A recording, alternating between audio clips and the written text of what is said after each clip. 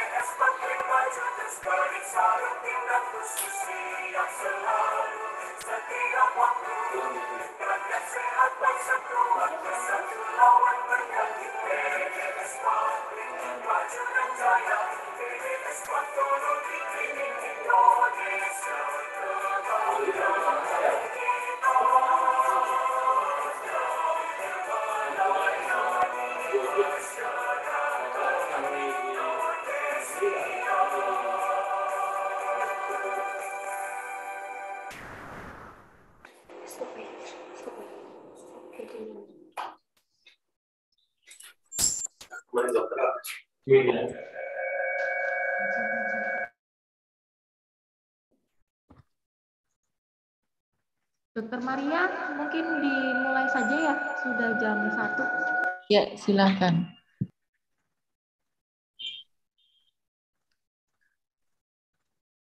Pada Mas Wahyu, bisa dimulai acaranya.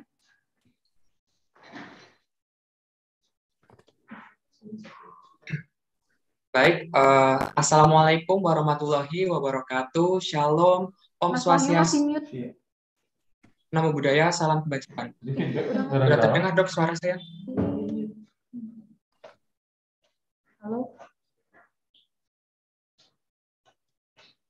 Sudah. Yang terhormat Bapak Direktur PT Gandasar Eka Satya, Dr. Dr. Ina Estiman, Spesialis Patologi Klinik Konsultan Mars, Dr. Dr. Agus Eskosasi, Spesialis Patologi Klinik Konsultan Mars, lalu ada Dr. Marina M. Rudong, Spesialis Patologi Klinik, Shelly Putri Kusuma SSI, dan tentunya seluruh prof, dokter, klinisi, Bapak Ibu yang sudah hadir pada webinar siang hari ini. Puji syukur kita panjatkan kepada Tuhan karena kehadiratnya kita dapat berkumpul walaupun kita semua terpisah jarak, kita dalam virtual Zoom, tapi Alhamdulillah dalam keadaan sehat dan berbahagia. Pada kesempatan kali ini, PT Gandasar Eka Satya kembali bekerjasama dengan PDS Parklin Pusat untuk menggelar webinar dengan mengangkat judul The Role of ESR for Support Screening Disease dengan dua pembicara utama. Yang pertama ada Dr. Dr. Ina, Estiman Spesialis Patologi Klinik Konsultan Mars, dengan judul Interpretation of ESR Testing.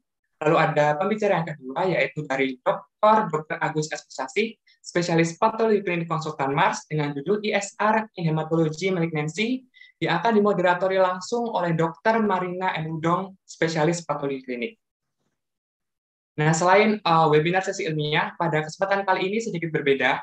PT Gandasar Eka Satya akan melakukan launching atau perkenalan produk terbaru dari Neon Coden, yaitu Coden Cell Pack Alpha, Alpha Plus MEK 1305. Ini merupakan alat untuk pengukuran hematologi tiga diferensial dengan ada tambahan parameter ISR atau LED. Nah, ini jadi dalam satu alat bisa mengeluarkan dua parameter tersebut. Nah, biasanya kan ISR ini uh, dilakukan pemeriksaan selama satu jam. Nah, dengan alat ini itu bisa pengukuran 2 sampai 3 menit saja. Nah, tentunya ini bisa meningkatkan inovasi modernisasi di laboratorium untuk meningkatkan efisiensi waktu pengerjaan pemeriksaan khususnya untuk ISR. Nah, untuk informasi produk nanti akan disampaikan oleh Ibu Shelly Putri Kusuma SSI selaku produk spesialis dari PT Gandasari Eka Sakti. Untuk susunan acara pada webinar siang hari ini, yang pertama ada pembukaan, dilanjutkan dengan sambutan, lalu ada sesi ilmiah yang akan dimoderatori oleh Dr. Marina, lalu ada informasi produk, yang terakhir akan ditutup dengan pembagian door prize. Nah, PT Gadasari Eka Satya sudah menyiapkan beberapa door prize yang tentunya sangat menarik untuk dipinang siang hari ini, jadi diharap kepada peserta webinar untuk mengikuti webinar sampai akhir dan jangan lupa untuk mengajukan pertanyaan karena nanti ada beberapa door prize yang dipilih dari penanya terbaik. Baik, uh, untuk mempersingkat waktu, langsung saja saya mulai untuk webinar siang hari ini, The Role of ESR for Support Screening Disease, tanggal 29 Maret 2022. Untuk acara selanjutnya yaitu menyanyikan lagu Indonesia Raya dilanjutkan dengan Mars BDS Patlin. Nah, ini untuk membangkitkan semangat kita pada siang hari ini. Ini siang-siang habis makan siang pada ngantuk. Ini langsung saja saya akan izin share screen untuk lagu Indonesia Raya dan Mars BDS Patlin.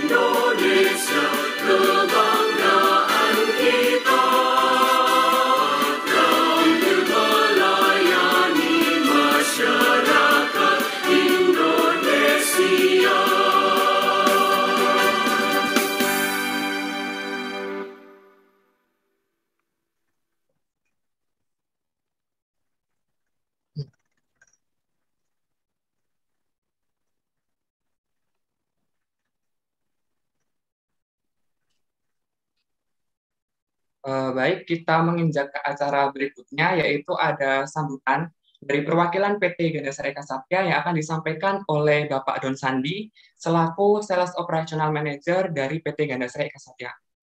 Pada Pak Don Sandi, apa sudah siap? Siap. Oh ya, waktu dan tempat saya berikan ke Pak Don. Yang kami hormati Profesor Dr. Dr. Ariati MS, Spesialis Patologi Klinik Konsultan, yang kami hormati Dr. Dr. Ina Timan, spesialis patologi klinik konsultan Mars. Yang kami hormati Dr. Dr. Agus Kosasi, spesialis patologi klinik konsultan Mars. Yang kami hormati Dr. Marina Ludong, spesialis patologi klinik. Dan seluruh yang peserta webinar yang kami banggakan. Dan tentunya tidak lupa juga saya ucapkan uh, terima kasih untuk teman-teman PT Gandasari, ada Widya Ambarsari dari Sales Manager Nihon Koden, ada Shelly Kusuma, Produk Spesialis, dan seluruh teman-teman support dari daerah yang membantu, Wahyu dari Makassar, ada eh, Ica dari Kediri, ada Penny dari Jakarta, dan beberapa Okta dari Surabaya, dan beberapa teman Gendasari. Salam sejahtera untuk kita semua. Tentunya yang pertama saya ucapkan terima kasih untuk eh, PDS Patklin atas eh, terselenggaranya webinar pada siang hari ini. Dan untuk seluruh peserta juga kami berharap acara webinar siang ini bisa bermanfaat untuk kita semua, termasuk juga nanti eh, produk baru Nihon Goden yang akan diperkenalkan di sesi terakhir.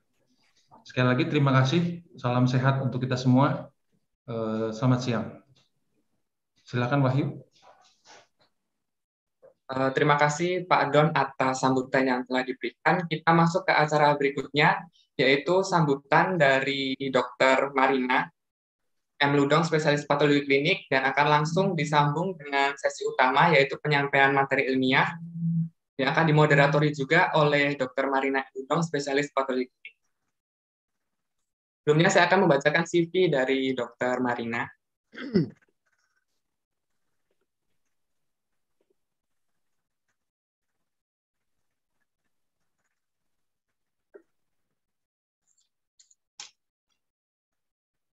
Dr. Marina lahir di Jakarta 27 November, merupakan lulusan dokter umum FK Universitas Samratulangi Manado, lulus dokter spesialis patologi klinik Fakultas Kedokteran Universitas Indonesia pada tahun 1996, merupakan kepala bagian patologi klinik Universitas Kedokteran Universitas Tarumanagara Jakarta. Lalu Dr. Marina juga merupakan anggota Medical Education unit Fakultas Kedokteran Universitas Tarumanagara Jakarta dan sekarang menjabat sebagai Sekjen PDS Patologi Klinik.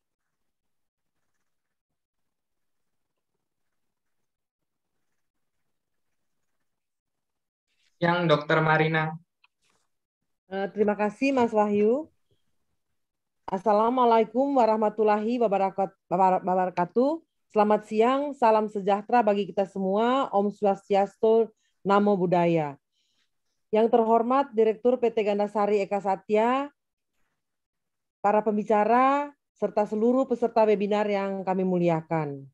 Kita berjumpa kembali dalam webinar yang diselenggarakan oleh pengurus pusat PD Spatlin yang didukung oleh PT Gandasari Eka Satya. Saya dalam hal ini mewakili Ketua Umum Pengurus Pusat PD Spatlin menyampaikan banyak terima kasih hmm. untuk kerjasamanya. Kita tahu bahwa sudah berapa kali Gandasari melakukan kerjasama berupa webinar dengan uh, pengurus pusat uh, PDS Patkli dalam hal ini dia. Nah, topik hari ini uh, kita akan mengangkat topik yaitu dengan judul The Role of ESR for Support Screening Disease.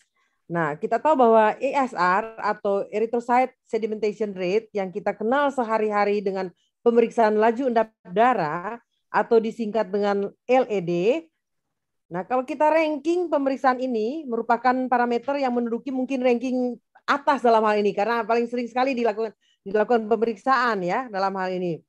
Dan uh, biasanya selalu masuk dalam paket-paket misalnya paket hematologi lengkap lah, rutin lah ya, sehingga seakan-akan bukan bukan sangat pemeriksaan ini sudah sangat-sangat tidak tidak asing lagi untuk kita dalam hal ini.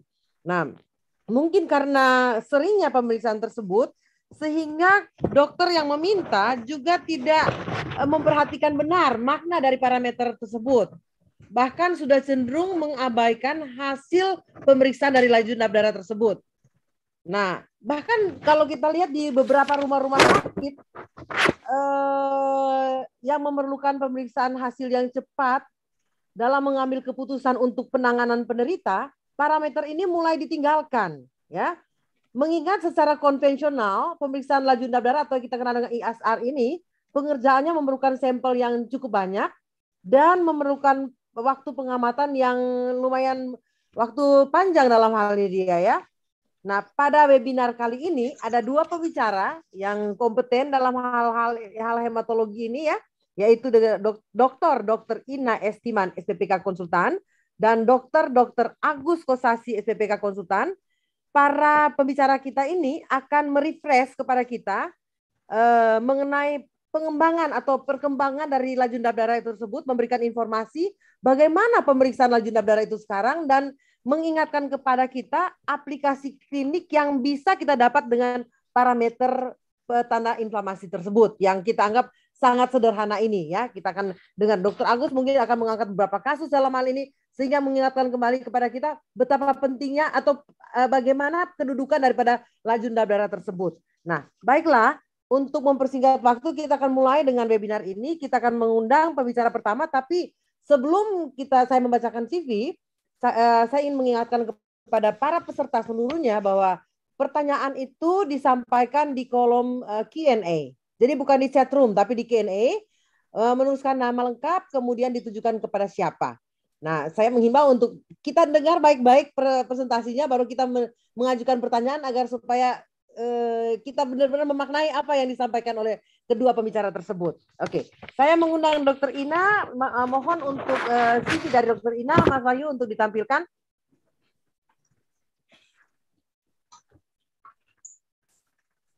Semua sudah tahu Dokter Ina ya. Dokter Ina uh, lahir Jakarta ya, kemudian sehari-hari bekerja di uh, Departemen Patologi Klinik FKUI RSCM. Dokter Ina meraih dokter umum, kemudian dokter spesial patologi klinik, kemudian konsultan, eh, menjadi PhD eh, ya di eh, Fakultas Kedokteran Universitas Indonesia. Kemudian pernah meraih juga Master Hospital Administration dari Urindo ya. Kemudian Dokter Ina mengikuti berbagai workshop dan training baik di Indonesia maupun di luar negeri ya. Kita bisa lihat di sini. Kemudian beberapa uh, jabatan yang pernah diduduki oleh Dokter Ina yaitu Dokter Ina pernah me, uh, menjadi kepa, kepala departemen dari uh, bagian patologi klinik FKUI dan kemudian juga men, pernah menjadi kepala dari bagian gastroenterologi uh, divisi gastroenterologi. Nah sampai sekarang ini Dokter Ina masih mengajar sebagai pengajar di uh, bagian patologi klinik FKUI. Dokter Ina juga merupakan member dari uh, Ikatan Dokter Indonesia dan tentu saja member dari uh, eh, PD Clean. Kami persilakan Dokter Ina waktu uh, 30 menit untuk Dokter Ina. Silakan Dokter Ina. Terima kasih uh, Ibu Moderator Dokter Marina. Uh, izinkan saya share screen.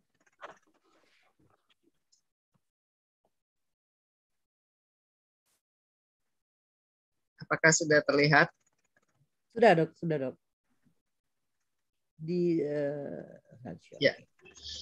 Terima kasih. Selamat siang, salam sejahtera uh, Prof, Dokter, Bapak Ibu, peserta webinar yang saya cintai, Direktur dan staf PT Gandasari. Terima kasih atas kesempatan yang diberikan pada saya untuk berbicara pada uh, seminar ini. Uh, jadi saya mengikuti apa yang tadi Dr. Marina sampaikan, saya akan merefresh sedikit mengenai ISR atau laju endap darah. Laju endap darah ini memang suatu pemeriksaan penyaring yang betul, sering diminta dan banyak digunakan sehari-hari.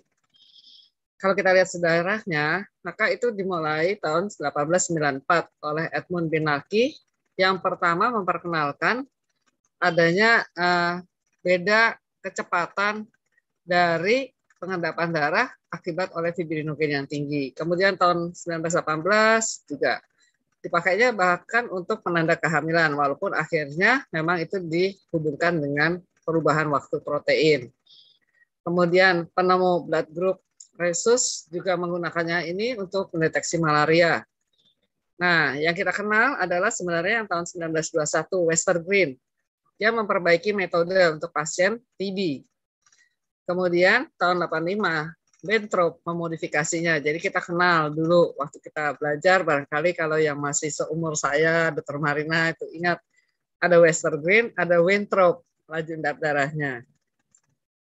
Jadi laju endap darah ini prinsipnya adalah kecepatan pengendapan atau sedimentasi dari red blood cell autologus plasma. Jadi di plasma sendiri.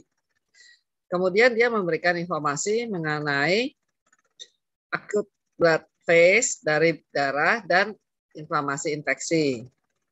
Ini tidak spesifik, tetapi banyak digunakan oleh klinisi sebagai screening, monitoring kelainan, mengetahui keberhasilan terapi, prognosis, serta derajat dari inflamasi infeksi.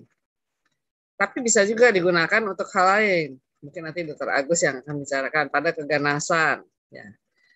Jadi masih banyak kegunaan-kegunaan lain kalau kita lihat, jadi kegunaan dari penemuan ISR ini, ini adalah tabung ISR yang pertama. Bentuknya begitu. Tidak panjang langsing seperti yang kita lihat sekarang, agak cembuk apa gemuk dan lebih pendek. Ya.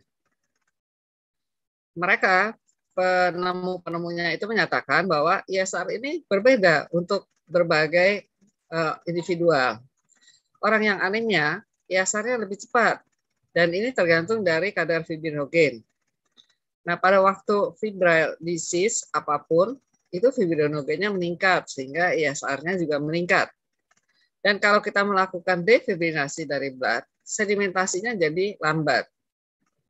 Yang ini digunakan adalah sekitar 20 mm glass cylinder dan reusable. Pertama ini yang sebelah kanan ini dibuat oleh Gerhard Company. Dan volume yang digunakan kurang lebih 1 cc, diukur pada 30 menit, 60 menit, dan 24 jam. Jadi lama sekali. Tetapi dari eh, pengalaman, akhirnya mereka memilih, oh yang terbaik itu kalau kita menggunakan satu jam. Nah, kemudian Western Green menggunakan uh, metode yang berbeda. Dia memodifikasi dari metode-metode oleh pendahulunya. Dia menggunakan uh, antikoagulan trisodium citrat sebagai uh, sebagai antikoagulannya karena dia menghendaki terjadinya hematokrit yang 35 atau lebih rendah pada waktu pemeriksaan itu. Dan metode inilah yang direkomendasi oleh ICSH. Yang digunakan menurut standar ICSH yang pertama itu adalah cup plastik 20 mm, 200 mm dengan perampang dalam 2,55 dengan skala 0 sampai 200. Dan holding device-nya adalah rak vertikal, stabil, tegak lurus, tidak boleh bocor. Sampelnya adalah darah EDTA, tetapi diencerkan uh, awalnya itu dengan sitrat supaya hematokritnya di bawah 35 persen.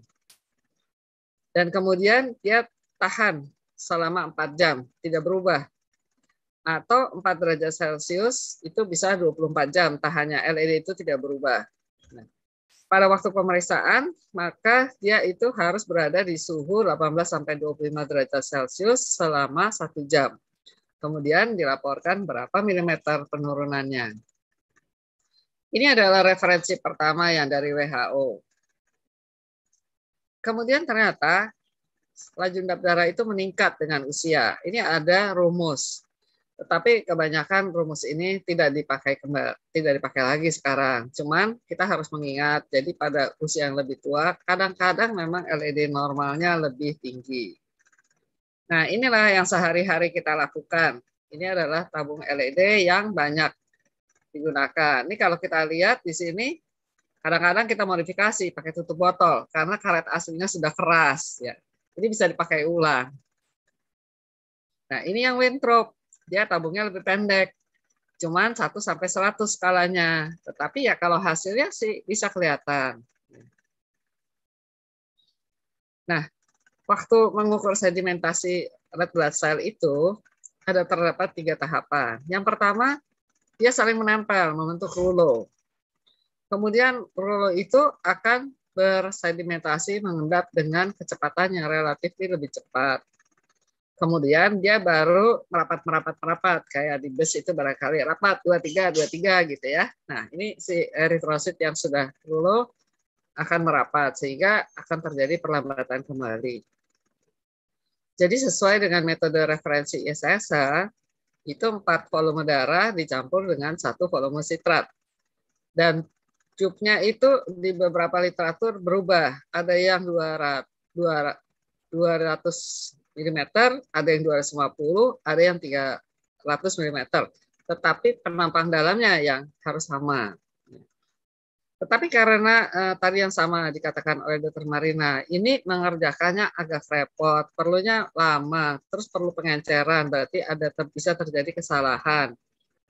Kemudian juga kemungkinan uh, terjadi infeksi itu lebih besar kalau kita uh, bekerja dengan darah yang cukup banyak dengan uh, berbagai tindakan. Oleh karena itu, ICSA juga menganjurkan untuk memproduksi closed system, tetapi tetap harus dikalibrasi terhadap standar dari ICSA ini. Dan ini digunakan uh, mungkin sebagai pengganti yang uh, kalau bebannya itu banyak bisa digunakan lebih cepat dan lebih praktis.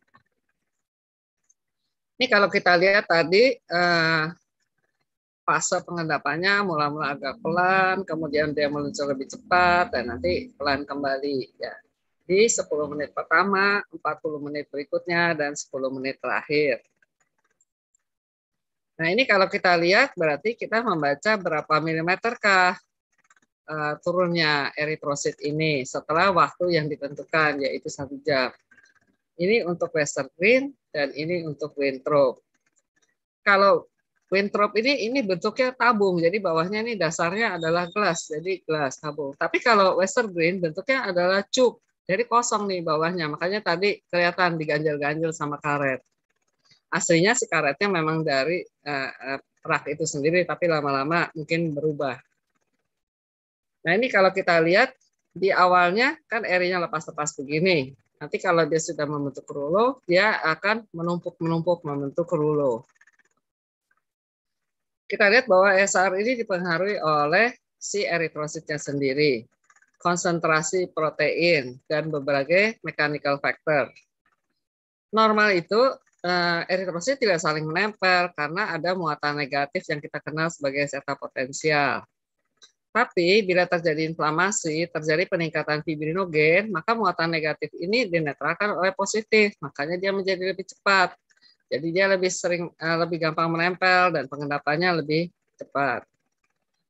Nah, red blood cell ini saling mendekat, membentuk rulo, ya. Kemudian dia akan karena jadi rulo, nempel-nempel jadi lebih berat sehingga cepat mengendapnya.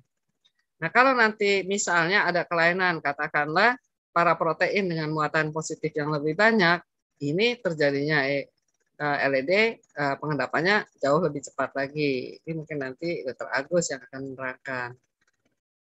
Kalau kita lihat sebenarnya ini juga tergantung dari suhu. Walaupun kita tidak pernah mengkalibrasi, tetapi di awalnya WHO menciptakan bahwa kalau suhunya terlalu besar daripada eh, tadi 18 sampai 25 maka diperlukan kalibra apa koreksi terhadap suhu berdasarkan grafik ini.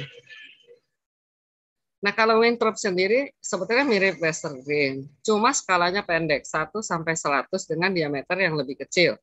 Dia tidak menggunakan pengenceran, dia tetap tegak lurus satu jam, kemudian sama dibaca penurunannya, tetapi nilai maksimalnya ini kurang dari Western Green karena dia lebih kental dan uh, kecepatan turunnya um, juga terhambat karena itu ya diameternya lebih kecil, uh, lubangnya lebih kecil dan ini lebih jarang digunakan. Nah, bagaimana interpretasinya? Biasanya kita lihat saja, kita biasanya sudah punya uh, nilai rujukan di tempat kita masing-masing. Lalu kita lihat berapa banyak sih dia turun, baik LED Western Green maupun Winthrop. Jadi dalam aplikasinya, dia merupakan salah satu pemeriksaan penyaring yang melengkapi hematologi lengkap. Termasuk banyak digunakan. Relatif murah karena modelnya dipakai ulang itu alatnya. ya. Kemudian bisa mengetahui inflamasi, infeksi, monitoring, prognosis. Tapi juga bisa untuk keadaan non-inflamasi, misalnya stroke, uh, coronary arterial disease, kemudian ada tissue injury, kemudian pada diabetes. Dan pengukurannya ada yang menggunakan lebih dari satu jam, walaupun dari ICSH itu uh, standarnya adalah satu jam. Dan, tapi perlu diingat, kadang-kadang ini tidak sesuai dengan derajat keparahan.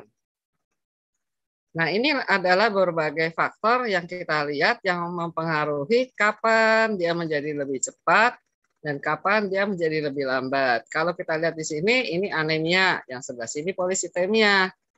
Ya, kalau di sini kita lihat ada dilution makrositosis, yang di sini mikrositosis. Jadi ada beberapa hal pada eri, pada plasma, dan kondisi tertentu isi dari plasma tersebut yang akan mempengaruhi kecepatan dari ESR itu. Tetapi ada hal-hal lain yang juga berpengaruh. Ya. Sebenarnya ya, kalau kita perhatikan uh, ada penelitian, penelitian ini belum dipublikasi, uh, tetapi uh, ada sekitar 50-60 sampel pasien dengan TB. Pasien itu pada waktu awal itu rata-rata eh, LED-nya dengan cara Western green itu berkisar antara 40 sampai 110. Jadi tinggi sekali. Itu bisa digunakan pada waktu hmm, check up misalnya eh, tiba-tiba kok ditemukan LED yang tinggi. Nah, itu harus berhati-hati dalam menginterpretasi nanti hasil misalnya radiologinya. Kemudian pada waktu kemarin COVID, itu kadang-kadang kita eh, kan waktu kita awal COVID tahun 2000 dan awal dari Delta itu orang nggak mau dibilang COVID. Kayaknya takut banget dibilang COVID. Tapi kita kalau ketemu anak muda, eh, gejalanya cuma flu sedikit, tapi LED-nya itu bisa tinggi sekali. Bisa antara 40 sampai 70. Nah, kita biasanya bilang, kamu coba swab. Nah, ini berbagai pemeriksaan ini ternyata bisa membuktikan juga bahwa dia ternyata COVID. Swabnya positif nantinya. Ini adalah beberapa e, contoh saja.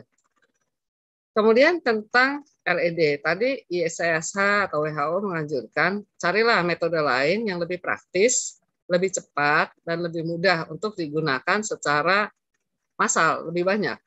Ya, kalau kita lihat, mereka mengklasifikasi ISR ini dalam yang true western green, modified western green, tetapi ada juga metode alternatif. Ya, ini untuk mengurangi exposure dari uh, pekerja teknisi. Kemudian uh, mereka menginginkan nggak usah dicari lah, kita menggunakan saja darah aslinya di EDTA. Ya. Kemudian mengurangi jangan satu jam, mungkin lebih singkat. Kemudian mengurangi juga human error-nya karena tidak ada pengenceran. Nah, kemudian kalau kita lihat itu, hmm, dia juga mengurangi waktu kerja, jam kerja. Jadi analisa bisa menggunakan itu waktunya untuk melakukan pemeriksaan lain. Kemudian eh, dia juga sebetulnya harusnya melakukan quality control, tetapi jarang dari kita ya melakukan quality control untuk LED ini. Dan ini juga eh, sebetulnya kalau kita memeriksa LED itu dianjurkan sih kalau untuk monitoring dilakukannya dengan metode yang sama. Sebab kalau berubah agak susah. Yang disebut sebagai Western Green adalah yang tadi diceritakan. Apa yang disebut dengan modifikasi Western Green? Jadi ada banyak alat yang mengambil prinsip Western Green menggunakan volume tabung lebih kecil, tanpa pengenceran, bisa dibaca dengan alat khusus. Jadi tidak usah dibaca pakai mata, dilihat berapa milimeter sih turunnya, nggak usah nginget-nginget waktunya, sudah waktunya apa belum untuk dibaca, nanti kelewatan, dan lain-lain.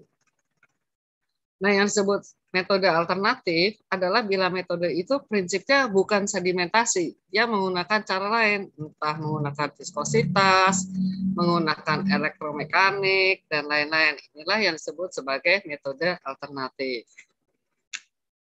Jadi, kalau saya ulang lagi, Western Green ini adalah gold standard yang ditentukan awal, seperti yang tadi saya ceritakan.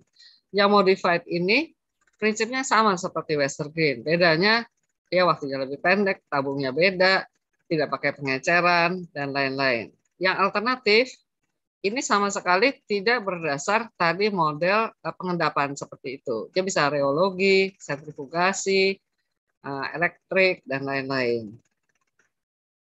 Nah, ini adalah beberapa alat. Kalau kita lihat, eh, ini ada yang betul-betul manual, tapi tabungnya beda. Nah, ini adalah modified dari Westergen yang manual. Tapi ada juga yang menggunakan uh, ini udah nanti dibaca sendiri di sini, tapi metodenya mirip ya. Tapi yang baca alat, jadi teknisinya nggak usah ingat-ingat jam berapa ya saya mesti baca. Tetapi ada yang otomasi. Otomasi itu artinya ya dia ngencerin sendiri, baca sendiri dan lain-lain. Yang ini lebih revolusioner karena udah sekalian mengerjakan hematologi betul-betul automated sekalian LED-nya nanti dibaca. Nah, ini adalah beberapa tipe alat LED yang uh, waktu itu diuji oleh WHO. Ya, ini ada ada beberapa prinsip pemeriksaan nanti uh, silahkan dapat dipelajari sendiri. Nah, yang alternate method ini dia itu harus uh, membuktikan dulu bahwa dia itu benar memberikan hasil sesuai dengan maksud pemeriksaan LED. Kadang-kadang mereka hanya menjual tetapi tidak melakukan uh, trial terlebih dahulu. Nah, ini susah nanti untuk menginterpretasi apalagi kalau pasiennya pindah dari satu lab ke laboratorium lain. Apakah dia dipengaruhi oleh anemia, apakah dia dipengaruhi oleh uh, kadar protein dan lain-lain itu mereka harus nyatakan di brosurnya. Ya. Kemudian apakah kalau hipofibrinogen itu juga akan mempengaruhi ISR-nya? Dikatakan kalau orang yang dengan kelainan genetik afibrinogenemia itu biasanya ISR-nya itu nol. Ya. Jadi eh, alternatif metode ini harus menulis apakah pengaruh dari faktor-faktor yang biasa mempengaruhi Western Green kan berpengaruh juga pada metode mereka. Jadi ini dikatakan manufacturernya yang harus menguji terhadap standar yang WHO dan kemudian menuliskannya. Kemudian apa eh, tugas kita sebagai pengguna? Setelah kita mempelajari prinsipnya, kita harus mempelajari juga bagaimana eh, keadaan alat itu kalau kita pakai di setting laboratorium kita. Yang pertama kita lakukan presisi, akurasi samalah seperti pemeriksaan lain. Lalu carry over, lalu berapa sih nilai rujukan yang cocok untuk populasi saya. Ya. Nah ini karena uh, metode itu mungkin berbeda dengan Western Green aslinya sehingga nilai rujukannya juga berbeda. Ya, kemudian uh, kadang-kadang alat yang otomatis ini punya kontrol, bisa dilakukan kontrol PMI setiap hari bisa juga uh, melakukan EQA kalau perusahaan itu menyediakan sampelnya. Ini adalah beberapa contoh dari berbagai alat, tidak disebut alatnya, tapi di beberapa negara, ini dia pakai Westergen, non-Westergen, lalu dia lihat uh, berapa sih kesesuaiannya, ada yang 100% oke, okay. ada yang lebih rendah, ada yang lebih tinggi. Nah, ini nanti kita sebagai pengguna lah yang akan mengujinya pada saat kita mau mencoba memakainya. Jadi tadi sudah dinyatakan kalau penjualnya atau manufacturernya itu harus menyebutkan bagaimana agreement-nya dengan Westerlin yang lama. Kemudian reproducibility-nya bagaimana, lalu interferensinya oleh apa saja, apa sama dengan Westerlin atau bagaimana, apakah dia berbeda sesuai umur dan jenis kelamin. Nah, yang laboratorium juga sama, akan memvalidasi hal-hal tersebut di atas, memvalidasi juga betulkah reference range yang akan saya pakai sekian sesuai dengan populasi saya dan selanjutnya. Jadi kalau kita lihat eh, ada tugas dari si penjual atau produsen, ada tugas dari kita juga sebagai pengguna. Ya apakah ini nanti akan sesuai dengan kondisi yang akan kita gunakan. Yang dianggap sebagai gold standard tetaplah si Western Green sesuai dengan ISSA. Untuk mengujinya minimal itu katanya menurut WHO adalah 60 sampel dibagi tiga, 20, 20, 20 pada kadar yang berbeda. Lalu dilakukan uji korelasi. Kemudian untuk uh, presisi, ini minimal kita pakai tiga sampel dengan sampel yang low, middle, dan high. Ini diukur 10 kali masing-masing. Betulkah kalau kita ukur pada uh, kadar yang berbeda ini kita mendapatkan hasil yang baik. Kemudian intervalnya ini kita lakukan tiga kali selama lima hari. Kemudian interferensinya silahkan dicoba sendiri sesuai dengan uh, kapasitas yang ada. Kadang-kadang kita bisa spiking, artinya gini, sampelnya kalau kita mau hematokrit tinggi, kita keluarin aja plasmanya. Kalau kita mau erinya yang rendah, ya kita keluarin erinya. Ini namanya spiking. Biasa kalau orang farmasi untuk obat ya sering begini. Jadi nanti kita dapat tahu. Kemudian kalau dia alat otomatis, kita coba carry overnya. Betulkah kalau saya habis yang tinggi terus masuk yang normal, dia nggak terpengaruh. Jadi di akhir ini jadi saya mengingatkan kembali saja take home message. ISR itu adalah tes yang sudah lama sekali, tapi banyak kegunaannya. Gold standarnya menurut WHO adalah Western Green. Modifikasi Western Green cukup baik, cuma harus divalidasi oleh penggunanya. Prinsipnya itu kalau modifikasi adalah sama dengan Western Green, hanya waktu, dilusi, bentuk tabung, dan lain-lain beda. Ini ada yang jenisnya manual, semi otomatis, fully automated. Nah, kalau yang alternate method itu prinsipnya beda. Jadi hati-hati, kita sebagai pengguna harus memahami dulu prinsipnya supaya bisa mengetahui bagaimana nanti kita menginterpretasinya. Untuk monitoring sebaiknya digunakan metode yang sama. Nah, kita tugas kita adalah mungkin di laboratorium kalau dia pindah lab, pindah lab, lalu dia tanya sama kita kenapa, klinisinya tanya. Nah, kita harus bisa tahu prinsipnya apa supaya kita bisa menerangkan. Kemudian dia digunakan untuk deteksi inflamasi, infeksi, dan berbagai kelainan lain. Terima kasih. Saya kembalikan ke Dr. Marina. Terima kasih, Dr. Marina. Terima kasih, Dr. Ina, untuk penjelasan yang begitu jelas. Uh, Dokter Ida sudah mengingatkan, kepada kita mengenai evolusi daripada pemeriksaan laju endap darah, bagaimana kita harus memvalidasi sehingga eh, metode-metode yang baru yang kita gunakan itu bisa kita percaya dalam hal ini dia. Kita akan beranjak kepada pembicara yang berikutnya yaitu uh, Dr. Agus, Dr. Dr. Agus Kosasi, SPPK konsultan, di mana Dr. Agus akan mem, topiknya dengan membawakan topik dengan judul ISR in Hematology Malignancy. Uh, saya akan membaca uh, riwayat uh, hidup Dr. Agus yang singkat ya, di mana Dr. Agus lahir di Jakarta, sama seperti Dr. Ina, Dr. Agus juga uh, lulus dokter umum, kemudian mengambil spesialis patologi klinik, mendapatkan konsultan dan kemudian menjadi guru uh, menjadi PhD di uh, dok doktor di Fakultas Kedokteran Universitas uh, Indonesia dan uh, Dr. Agus pernah menjadi kepala instalasi patologi klinik RSU Bengkulu di Sumatera Selatan, kemudian menjadi eh, SMF patologi klinik, bekerja di SMF patologi klinik laboratorium uh, Rumah Sakit Cipto Mangunkusumo dan um, kita tahu bahwa Dr. Agus ini sebagai juga um, kepala SMF patologi klinik Rumah Sakit Kanker dan Mais, menjadi konsultan laboratorium Rumah Sakit MMC Kuningan Jakarta dan menjadi uh, konsultan laboratorium Prodia Kebayoran dan konsultan laboratorium Rumah Sakit Siloam Semanggi MRS eh, MRCCC ya. Nah, sampai sekarang Dr. Agus itu uh, sangat apa tuh uh, giat di pengurus pusat pedesaan terutama dalam menggerakkan uh, INA EKAS yaitu satu badan di mana di, kita punya badan PKL itu untuk external quality control ya. Nah, sebagai sampai sekarang pun Dr. Agus merupakan anggota dari pengurus cabang Jakarta untuk Perhimpunan Onkologi Indonesia ya.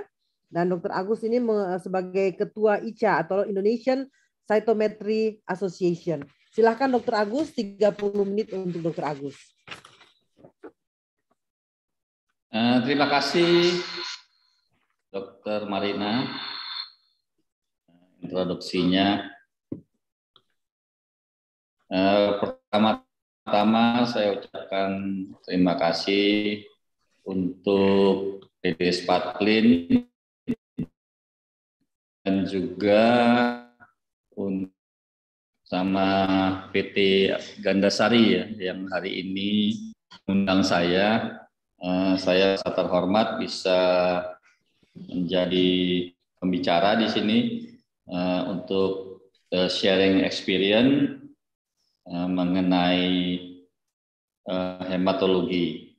Uh, awalnya saya agak bingung juga disuruh bicara mengenai LED dan berkaitan dengan hematologi malignansi. Memang saya awalnya juga tadi yang seperti yang Dokter Barina sampaikan bahwa LED ini sudah lama nggak kedengeran ya. Nah, tapi karena ini berkaitan dengan uh, launching, ya. launching ada alat hematologi analyzer 3 div dari Gandasari yang isinya ada uh, eh, LED-nya. Jadi uh, kita akan bahas mengenai peran LED dalam uh, malignansi.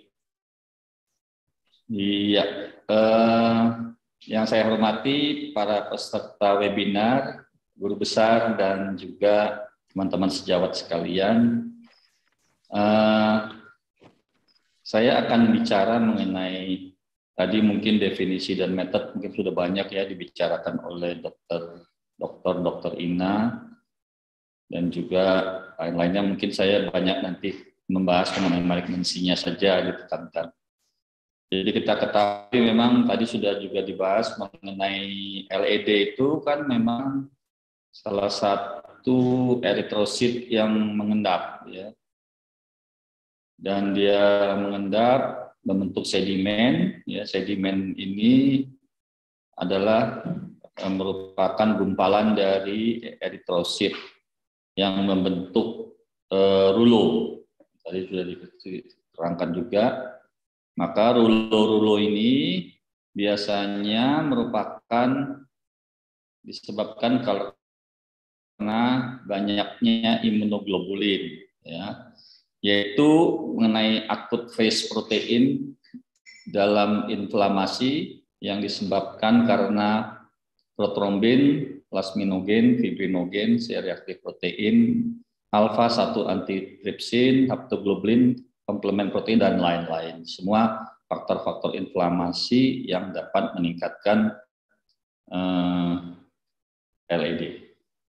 Jadi uh, acute phase protein ini biasanya diproduksi itu di dalam hati, dalam hati, dan dia akan dikeluarkan bila ada kerusakan jaringan ataupun inflamasi dan sebagainya, maka dia akan dikeluarkan dalam dari dalam hati.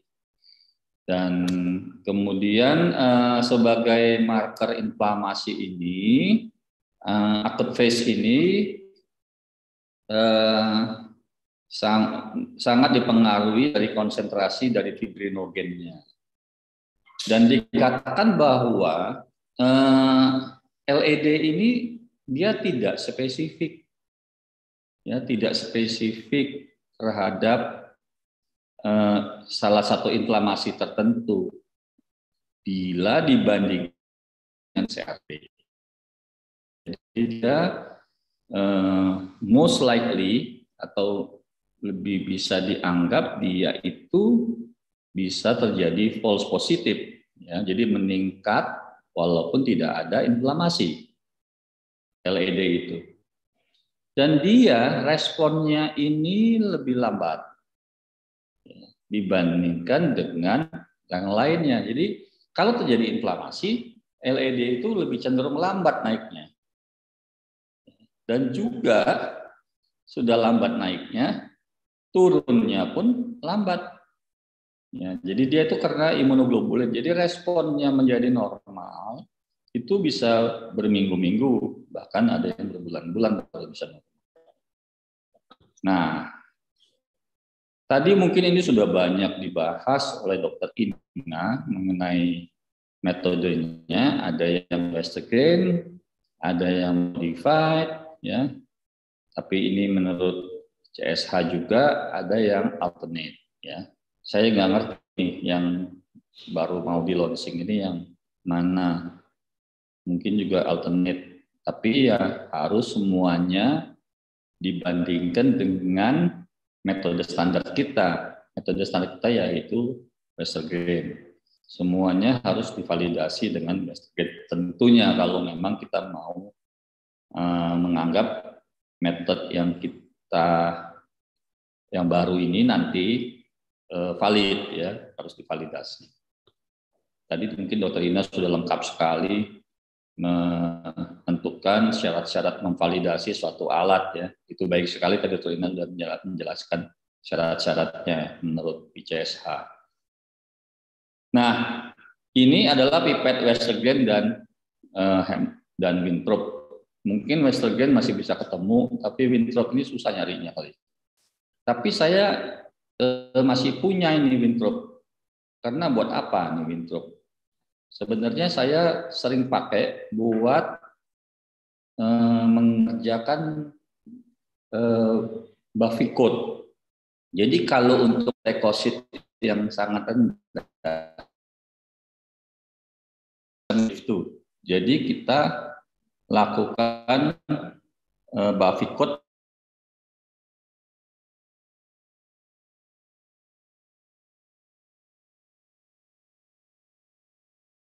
di, diambil bafikotnya di sini. Nah, gitu. Jadi ini kalau ada yang pernah buat bikin bafikot untuk div yang leukositnya rendah. Nah, eh, sampelnya tadi mungkin juga sudah dijelaskan. Tapi pengencerannya pakai sodium citrat, pembandingannya 4 banding 1. Nah ini mungkin tadi nilai normal tergantung dari usia dan juga jenis kelamin ya dan juga anak-anak. Ini juga tadi dikatakan sudah nggak dipakai juga ya kadang-kadang ya tergantung dari uh, daerahnya. Nah kondisi-kondisi di mana ada peningkatan juga disebabkan adanya usia dan juga karena gender, karena ada kehamilan, ada anemia, ya, adanya kelainan dari eritrosit, ini juga bisa meningkatkan LED. Tetapi meningkatan LED yang sangat besar atau meningkat sangat eh, banyak bisa terjadi pada malignansi, pada kelainan ginjal, pada kelainan uh, jantung, pada kelainan uh, temporal arthritis, pada kelainan kolagen dan juga pada infeksi. Nah, uh, untuk peran dari fibrinogen juga sangat besar. Kita ketahui bahwa ada peningkatan fibrinogen juga bisa akan meningkatkan juga LED.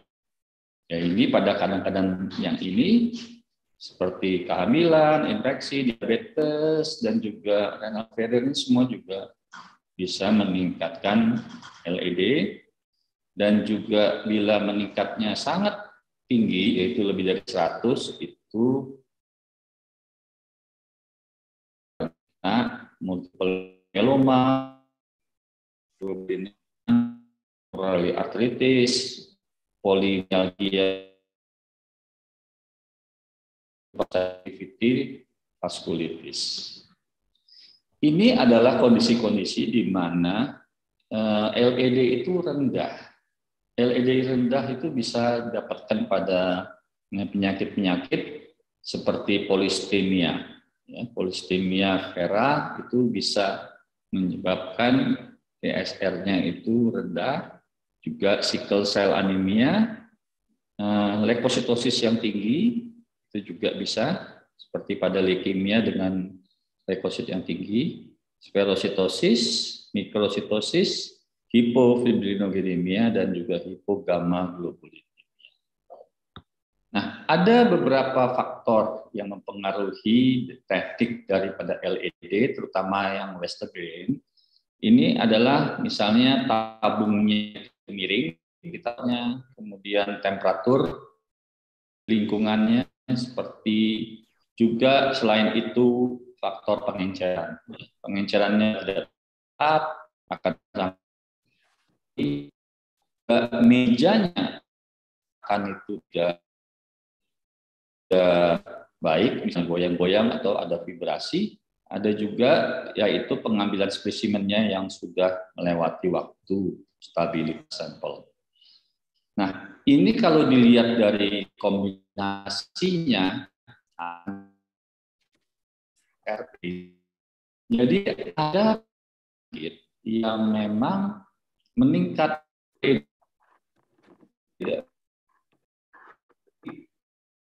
reaksi pada tulang dan sendi.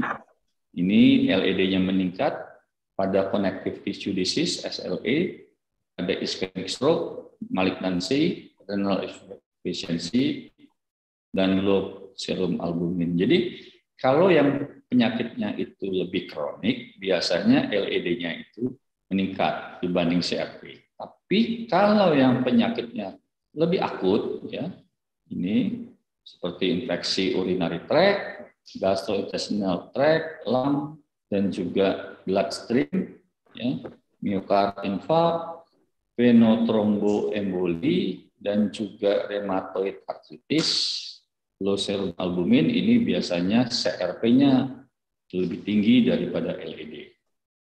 Nah, ini juga dari sini kita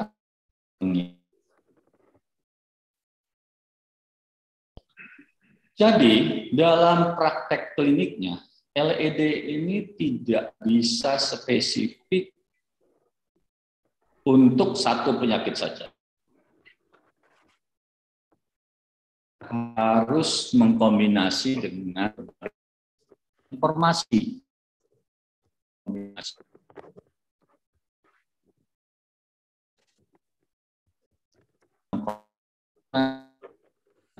Kalau kita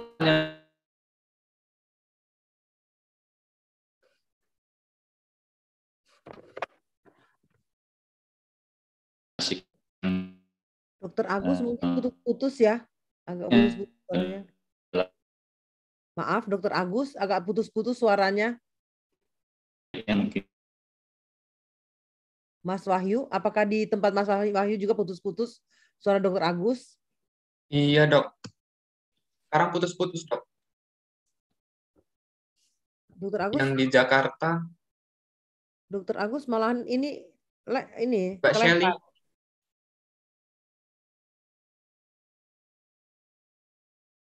Ya, ini sedang dicek sebentar ya.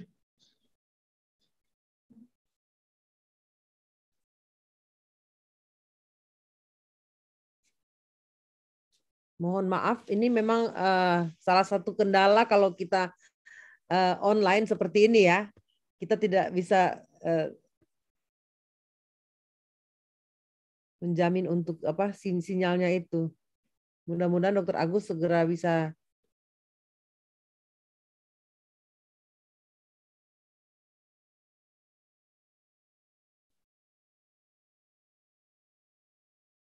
Mas Wahyu, Dokter Agus di kantor itu ya, di Gandasari? Iya, di, di Gandasari, dok. Iya dok, ini dokter Agus sedang mulai masuk lagi ke Zoom. Oke, oke.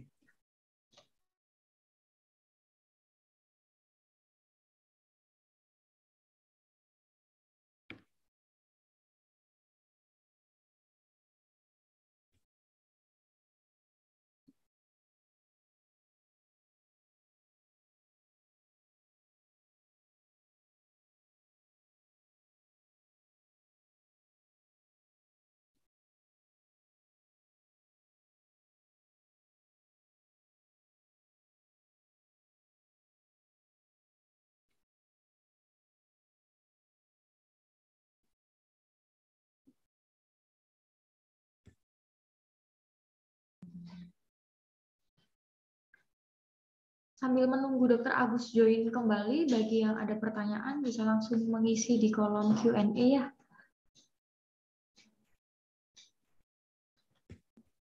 Dengan memberikan norm, eh, dengan memberikan format nama eh, dari instansi mana, lalu pertanyaannya. Oh itu dia, Dokter Agus sudah join. Halo Dokter Agus. Mungkin bisa uh, share apa screen lagi.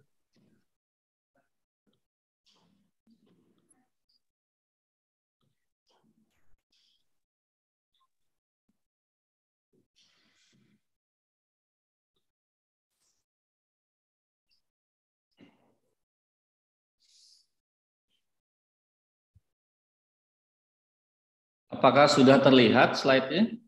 Jelas, jelas Dokter Agus. Jelas. Suaranya juga jelas. Ya. Baik, saya lanjutkan. Suaranya Nggak bisa matiin kalau feedback. Gak apa-apa, hidupin aja. Apakah sudah terlihat? Jelas, jelas Dokter Agus. Ya. Jelas. Silakan. Nah, jadi uh, untuk keganasan darah dari LED saja kita bisa melihat yang LED yang sangat tinggi yaitu limfoma, multiple myeloma atau yang meningkat sedikit dan yang memang leukositnya tidak terlalu yang berkurang seperti leukemia dengan leukositosis ini LED-nya akan berkurang. Nah, kalau di sini ada penelitian dari Mayo dari Lisa M Daniel dikatakan bahwa kalau yang ESR-nya itu atau LED-nya tinggi lebih dari 100 itu rata-rata bisa dilihat bahwa yang infeksi atau inflamasi autoimun atau malignansi. Sedangkan yang lain-lain probability-nya seperti renal dan lain-lain itu kecil. Jadi kemungkinannya kalau kita ada menemukan di klinik itu yang LED-nya lebih dari 100 itu kemungkinan dia malignansi, ya inflamasi karena autoimun atau memang ada infeksi. Jadi kita tinggal lihat klinisnya, kira-kira ke mana. Ya. Jadi ini juga kalau dilihat katanya kalau dia dari malignansi kemungkinan besar yang P-nya kurang dari satu yang dengan penyakit atau tanpa penyakit yaitu secara bermakna ternyata yang paling besar itu multiple myeloma Waldenstrom atau MDS gitu. Jadi yang keganasannya seperti ini. Nah, ini juga ada studi lain di Arab Saudi yang mengatakan bahwa kalau dilihat bahwa memang yang paling banyak itu adalah yang infeksi atau imun ataupun malignansi. Ya, jadi kalau kita melihat yang lebih dari 100 itu yang udah kita pikirkan ya kemungkinan dia infeksi atau atau imun atau malignansi tinggal kita mencari Eh, bagaimana perjalanan penyakitnya dan klinisnya. Gitu. Ini juga dilihat bahwa ketiga inilah yang paling besar kemungkinan. Nah, kita kembali langsung kepada kasus. Ya, ini supaya kita lihat bahwa ini kasus datang 72 tahun sudah tua dan dia ini ada lemas-lemas ya ada masa ya. Dia ada lima adenopati splenomegali kita lihat ada anemi, leukositnya meningkat dengan LED yang sangat tinggi, 100 lebih. Kita lihat ada limfositosis yang tinggi, 96 persen. Nah, kita lihat di sini bahwa, nah, kita lihat bahwa leukositnya, ya, tuh seperti ini. Ini tinggi sekali, ada banyak sekali limfositnya. Ini seperti CLL ya, tampak seperti CLL. Nah, ini kelihatan CD-CD-nya dan ternyata betul ini CLL. Ini kenapa dibilang atypical CLL karena CD23-nya negatif. Nah, bagaimana dengan eh, ES, uh, eh, LED pada multiple myeloma? Dikatakan LED pada multiple myeloma ini punya sensitivitas yang tinggi walaupun spesifitasnya rendah. Akan tetapi uh, selain ada LED ada juga di sini kalau kombinasi antara HB dengan LED. Ternyata kombinasi antara HB dengan LED lebih tinggi lagi yaitu 93 persen. Yaitu sampai cuman spesifitasnya memang rendah. Jadi dengan melihat LED kita kombinasikan dengan HB, kalau kita curiga satu mm itu bisa mempunyai sensitivitas di 96 persen. Ya, jadi LED ini perannya pada MM sangat besar ya, apalagi bila dikombinasikan dengan HB. Ya, ini kita lihat 69 tahun ya dengan pucat. Nah, kita lihat HB-nya turun, trombosit turun dengan ESR yang sangat tinggi. Nah, kita lihat ternyata pada pasien ini ada gamopati monoklonal, yaitu M spike pada gamma globulin Nah, ini pada slide-nya ini. Cuman sayang saya tidak punya gambaran darah tepinya, tidak bisa memperlihatkan rulonya. Yang saya punya adalah gambaran sumsum -sum tulangnya ya. Gambar sumsum -sum tulangnya tampak plasmosit walaupun memang ini sumsum -sum tulangnya tidak terlalu bagus, tidak punya partikel tapi dapat terhitung plasmosit. Di sini plasmosit plasmositnya tampak ada 30 persen ya 30 persen plasmosit seperti ini. Walaupun memang jarang-jarang, dan dibuktikan dengan flow cytometry memang sesuai dengan uh, multiple myeloma karena dia CD38, 138 dan lambda positif. Begitu. Dan bagaimana dengan LED dengan limfoma? Ya, ternyata dengan limfoma LED yang tinggi sekali itu mempunyai sensitivitas dan spesifitas sekitar 70 persenan dengan akurasi 73 persen. Ya. Di sini dapat ROC-nya tampak di sini. Nah, dengan cut off value-nya sekitar 35,5 mm. Nah, di sini tampak bahwa limfoma ini memang cenderung lebih tinggi dibandingkan dengan malignansi yang lainnya. Nah, di sini limfoma juga ada beberapa macam. Ada limfoma yang Hodgkin, ada yang BCL, BLBCL, ada juga yang limfoma yang indolen, ada juga yang T-cell ternyata mempunyai min yang berbeda-beda dari LED tersebut.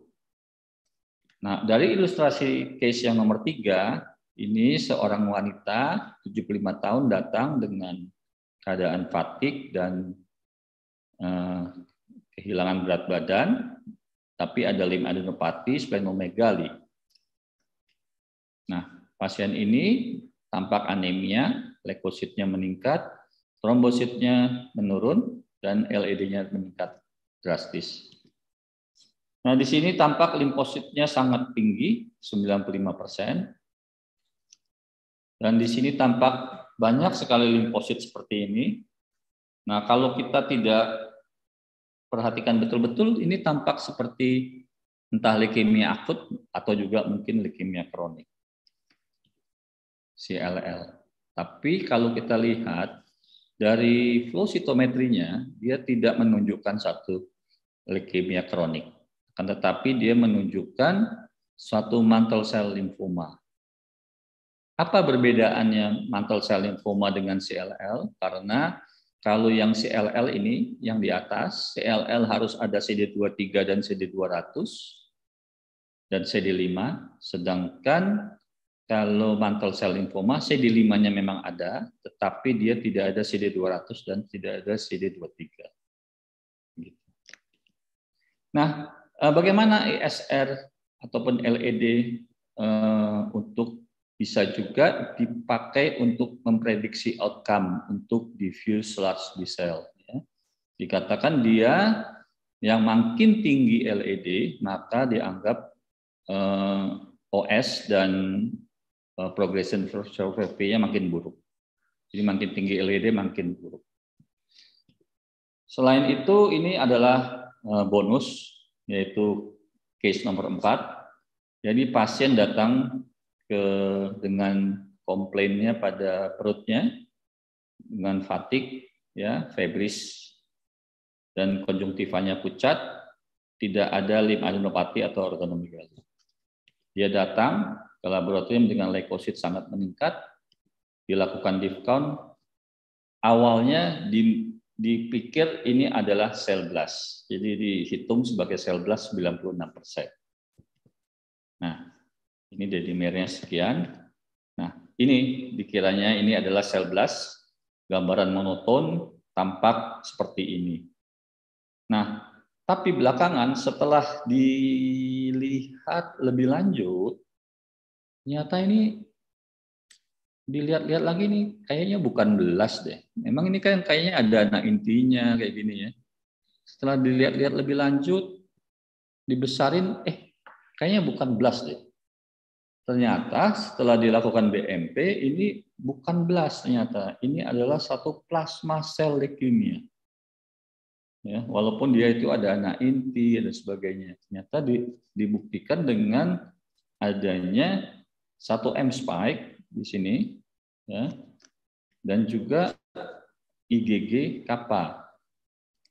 Dan dilakukan bone marrow ya. Ternyata memang dia di bone marrow-nya lebih mirip dengan uh, plasmosit ya. Memang jadi dia ada plasmosit eh, uh, 43% dominannya di bone marrow dan juga imunofenotype menunjukkan bahwa marker yang positif adalah positif CD38, 138, dan eh, CD43 dan 200 juga positif. Ini sesuai dengan marker multiple myeloma. Jadi ini diagnosis akhirnya adalah plasma sel leukemia karena eh, plasmositnya sudah di ada di perifer blood. Jadi untuk kesimpulan, LED adalah uh, spesifik, uh, marker yang tidak spesifik untuk inflamasi. Jadi tidak bisa dipakai sendirian. Jadi dia uh, tidak bisa, tetapi dia bisa dipakai untuk mengarahkan bila dibanding dipakai dengan gejala-gejala klinik yang lain atau dengan riwayat penyakit atau dengan pemeriksaan fisik atau ada parameter yang lainnya. Mungkin kita bisa membantu untuk mengarahkan ke arah mana mau kita arahkan kira-kira penyakit mana yang kita akan tuju. Jadi LED ini sebenarnya berguna kalau kita screening penyakit untuk satu klinik-klinik mungkin yang apalagi fasilitas-fasilitasnya yang masih sangat terbatas, LED ini sangat berguna sebenarnya. Itu saja mungkin yang mau saya sampaikan. Terima kasih atas perhatiannya. Terima kasih Dokter Agus untuk presentasi yang begitu menarik ya. Dokter Agus telah mengingatkan kita untuk pemeriksaan yang sederhana, ternyata bisa membuka jendela ke berbagai penyakit-penyakit yang penyakit terutama malignansi yang uh, begitu beragam ya Dokter Agus ya. Tapi yang saya cukup menarik yang Dokter Agus sampaikan di sini bahwa laju darah ternyata responsnya lambat dan turunnya juga lambat ya. Dan itu yeah. jadi mengingatkan saya pada beberapa medical check up di mana orang-orang itu kadang-kadang bolak-balik bolak-balik cuma gara-gara laju darah yang tinggi-tinggi terus. Mungkin itu seperti itu ya Dokter Agus ya. Tidak ada apa-apa tapi mungkin saja ada sesuatu dalam hal ini dia yang kita bisa lihat bahwa ini tidak boleh stand alone gitu ya harus dikombinasikan dengan, dikombinasikan dengan HB dan sebagainya seperti itu. Nah, kita akan masuk kepada sesi yang berikutnya yaitu uh, sesi tanya jawab. Di sini ada beberapa pertanyaan yang masuk eh, ada sembilan pertanyaan, tapi sebagian sudah dijawab langsung oleh Dokter Ina ya, Dokter Ina ya. Eh, apakah ada yang di antara jawaban yang Dokter Ina sampaikan itu mau disampaikan lagi kepada semuanya agar bisa mendengar apa yang disampaikan atau bagaimana Dokter Ina? Atau saya langsung dengan pertanyaan yang belum dijawab oleh Dokter Ina? Dokter Ina masih mute, Dokter Ina. Sorry, terima kasih. Mungkin uh, dicoba yang belum dijawab aja dulu ya. Oke, okay, oke. Okay. Jadi di sini ada per... Ya, ya oke, okay, ya. saya mau nanti balik balik ke yang itu. Nanti baru balik ke yang sudah terjawab. Iya, sepertinya yang di ini kita bisa membuktikan bahwa laju darah ini ternyata banyak banyak penggunaan digunakan banyak sekali dan sepertinya banyak masalah teknik-tekniknya pemeriksaan ya dokter Ina ya. ya Karena ya. rata-rata yang masuk ini semua mengarah ke dokter Ina semuanya. So, oh, atau masih belum kali itu pertanyaan Agus. dokter Agus belum ke dokter Agus ya dalam hal ini. Nah, kemudian ini dari pertanyaan dari dokter Iren Elisi Tompo. Uh, dokter Iren menanyakan apa yang sebaiknya dilakukan jika kita mengadakan alat pemeriksaan laju darah. Pertanyaan pertama ya dokter Ira. Kemudian kedua dari dokter Iren juga itu apakah perlu kita lakukan uji terhadap alat tersebut jika perlu, bagaimana melakukannya jika kita tidak mempunyai alat yang sesuai dengan Western Green? Uh, mungkin langsung dijawab, Dokter Ina. Ya, terima kasih, Dokter Marina. Jadi dalam pemilihan tentu kita melihat pertama adalah beban kita berapa banyak, kemudian cost. Kemudian tenaga. Kalau misalnya pemeriksaannya banyak, sedangkan tenaganya terbatas, mungkin ada baiknya juga kita memakai yang tadi modified atau alternate method. Tetapi kalau cuma satu-satu, ya mungkin masih bisa ditangani oleh teknisi yang ada. Kalau untuk validasi, itu tadi uh, sesuai dengan kalau kita ikut dengan ISO, dengan yang disampaikan oleh ICSA, ataupun kita ikut uh, akreditasi baik itu di rumah sakit atau di laboratorium itu pasti mereka tanya sudah divalidasi belum? Kalau ini metode yang baru. Nah kita wajib. Paling tidak kalau tidak uh, tidak bisa kita karena terbatas dengan personilnya kita bisa bertanya kepada manufakturnya. Pasti itu datanya sebetulnya sudah ada. Kalau enggak mereka pasti tidak dapat izin untuk menjual. Dan kemudian data itu nanti dicocokkan apakah sudah sesuai dengan dengan apa yang kita butuhkan. Demikian Dokter Marina. Mudah-mudahan okay. bisa menjawab. Oke. Okay. Ini sambil kita menunggu pertanyaan untuk Dokter Agus, saya teruskan juga eh, pertanyaan untuk Dokter Ina nih ya. Uh, ini dok, uh, jika menggunakan pemipetan terhadap sampel, bagaimana mengetahui terjadi carry over? Pertanyaan dokter dari dokter Efrida. Ya. Efrida dari Padang nih kayaknya. Terima kasih Dr. Efrida. Jadi uh, pada beberapa alat otomatis mungkin seperti yang ini ya, yang Nihon ini, tapi saya belum pernah pakai, jadi saya nggak bisa bicara tentang itu. Uh, itu ada seperti kita menggunakan cell counter kan, kita hisap sampelnya lalu baru diperiksa. Nah itu pada setiap proses begitu kan uh, kita harus harusnya mengecek adakah carry over.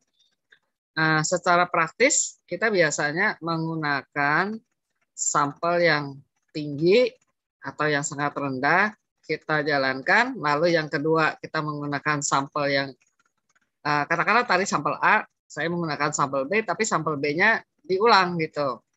Apakah hmm. hasil dari sampel B yang pertama di run dengan yang kedua itu beda atau tidak? Lalu dihitung deltanya. Sepertinya itu di buku Desi Lewis ada rumusnya. Tapi kalau mau secara praktis ya begitu kalau dia ternyata B1 dan B2-nya berbeda, berarti kita harus hati-hati. Demikian, Dokter Marina, mungkin bisa menolong secara praktis. Oke, Oke Dokter Ina. Dokter Ina uh, masih pertanyaan untuk Dokter Ina, belum ada Dokter Dokter Agus. Terima eh, kasih. Uh, ini, ini adalah uh, eh, ISR dengan metode alternatif dengan tabung yang berbeda dengan Western Green ada waktu yang lebih cepat sejauh mana dapat diterima pemirsa seperti ini, Dokter Ina? Hmm, biasanya kita melihat pada waktu manufaktur menawarkan, kita bisa melihat ya pasti menyediakan kurva korelasi. Nah, kurva korelasi itu kita bisa lihat apakah uh, sesuai dengan apa yang kita butuhkan. Artinya kurva korelasi kalau yang baik itu dia harus menggunakan 30 sepertiga sampel rendah, sepertiga sampel normal, dan sepertiga sampel yang memang tinggi lalu dilihat korelasinya apakah memenuhi syarat. Bila ingin mencoba sendiri, ya bisa menggunakan hmm, dengan Western Green, tapi berarti harus punya Western Green-nya.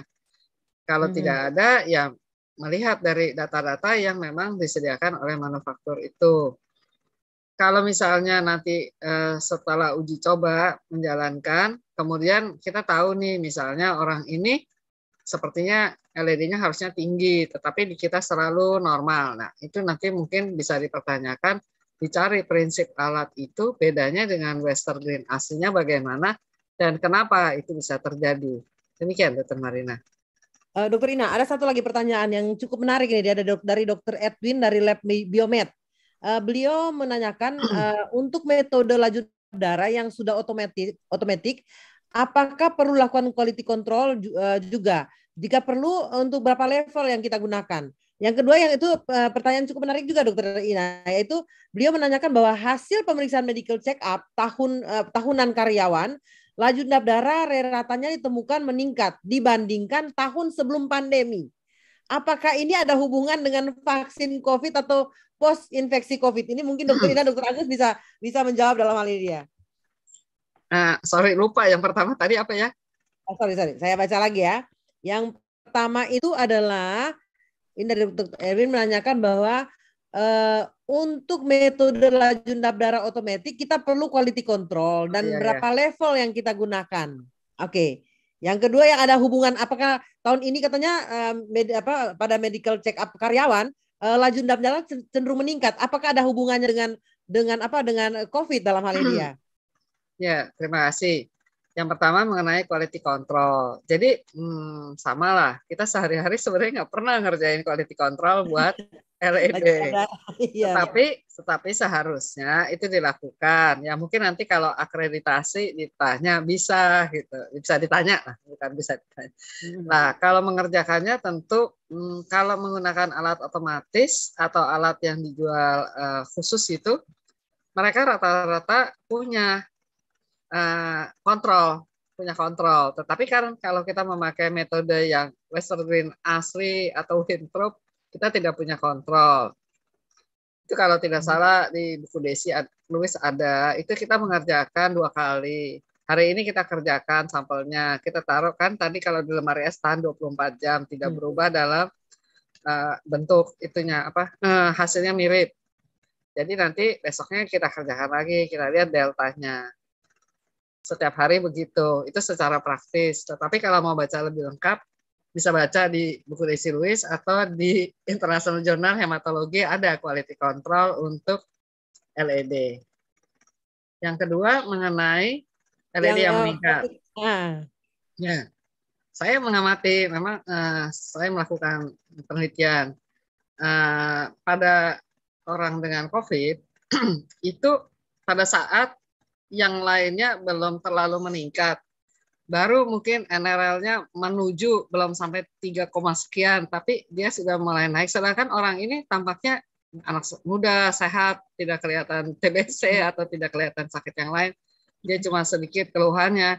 Itu yang pertama terlihat adalah LED-nya yang meningkat.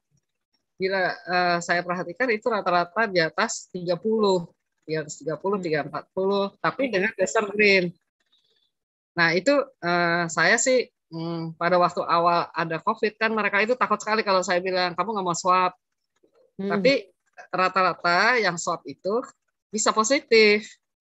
Nah saya rasa ini juga terkait dengan respon. Tadi Dr. Agus mengatakan respon dari uh, akut phase reaktan yang lain. Saya juga membaca begitu. Mungkin kita sesudah vaksin, apakah imunoglobulin kita meningkat atau tidak, saya nggak pernah baca sih. Tetapi saya membaca kalau post COVID di literatur memang banyak yang menyatakan LED-nya itu meningkat. Demikian yang saya tahu sih, Dr. Marina. Mungkin Dr. Agus bisa menambahkan. Dr. Agus mau menambahkan, Dr. Agus? Saya sih sama aja. Jadi tadi kan berkaitan dengan imunoglobulin, ya kan? Kalau imunoglobulin itu kan istilahnya kalau habis disuntik vaksin kan imunoglobulinnya kan meningkat ya, antibodinya meningkat. Apalagi kan belakangan ini kita kan disuntiknya berkali-kali itu ada udah iya. banyak. Jadi uh, uh, mungkin peningkatan itu berdasarkan itu. Saya rasa itu sih. Ini ternyata Dokter Agus ternyata masuk pertanyaan banyak banget untuk Dokter Agus nih. Eh, ini dari Dokter Iren uh, Sitompul. Dokter ini menanyakan kepada Dokter Agus apabila laju darah merupakan pemeriksaan inflamasi yang tidak spesifik, apa hal spesifik yang membuat kita sebagai SPPK tetap melakukan pemeriksaan tersebut, dok? Uh, iya. Uh, begini, uh, Dokter Iren, memang itu tidak spesifik, cuman uh, cukup sensitif uh, pemeriksaan LED ini untuk beberapa hal, untuk membedakan uh, pasien ini penyakit atau bukan penyakit gitu. Tadi saya sudah eh, eh, presentasikan fakta-fakta untuk dengan cut off lebih dari 100 itu banyak yang kita bisa lihat. Misalnya kalau lebih dari 100 itu kemungkinan udah pastilah pasien ini penyakitan gitu loh. Mungkin dari dari infeksi ataupun eh, eh dia autoimun ataupun dia keganasan gitu. Dan dari keganasan itu tadi sudah dibuktikan lagi sama penelitian itu. Ternyata kalau dari 100 itu kebanyakan keganasannya yang yang keganasan darah, hmm. yang parah-parah yang multiple myelom ataupun Waldenstrom ataupun ke arah yang misalnya MDS gitu. Jadi yang jadi lebih, lebih agak-agak bisa mengarahkan. Jadi, jadi kalau misalnya eh, ini bergunanya untuk eh, tadi kan ini berkaitan dengan eh, adanya hematologi analyzer 3 div ya. 3 div itu kan buat klinik kecil ya, bukan buat rumah sakit yang dengan fasilitasnya semua ada ya. Saya ngebayangin kalau seorang dokter yang cuman ada tiga div ya, kemudian dia LED-nya bisa langsung keluar gitu ya dengan CBC ya.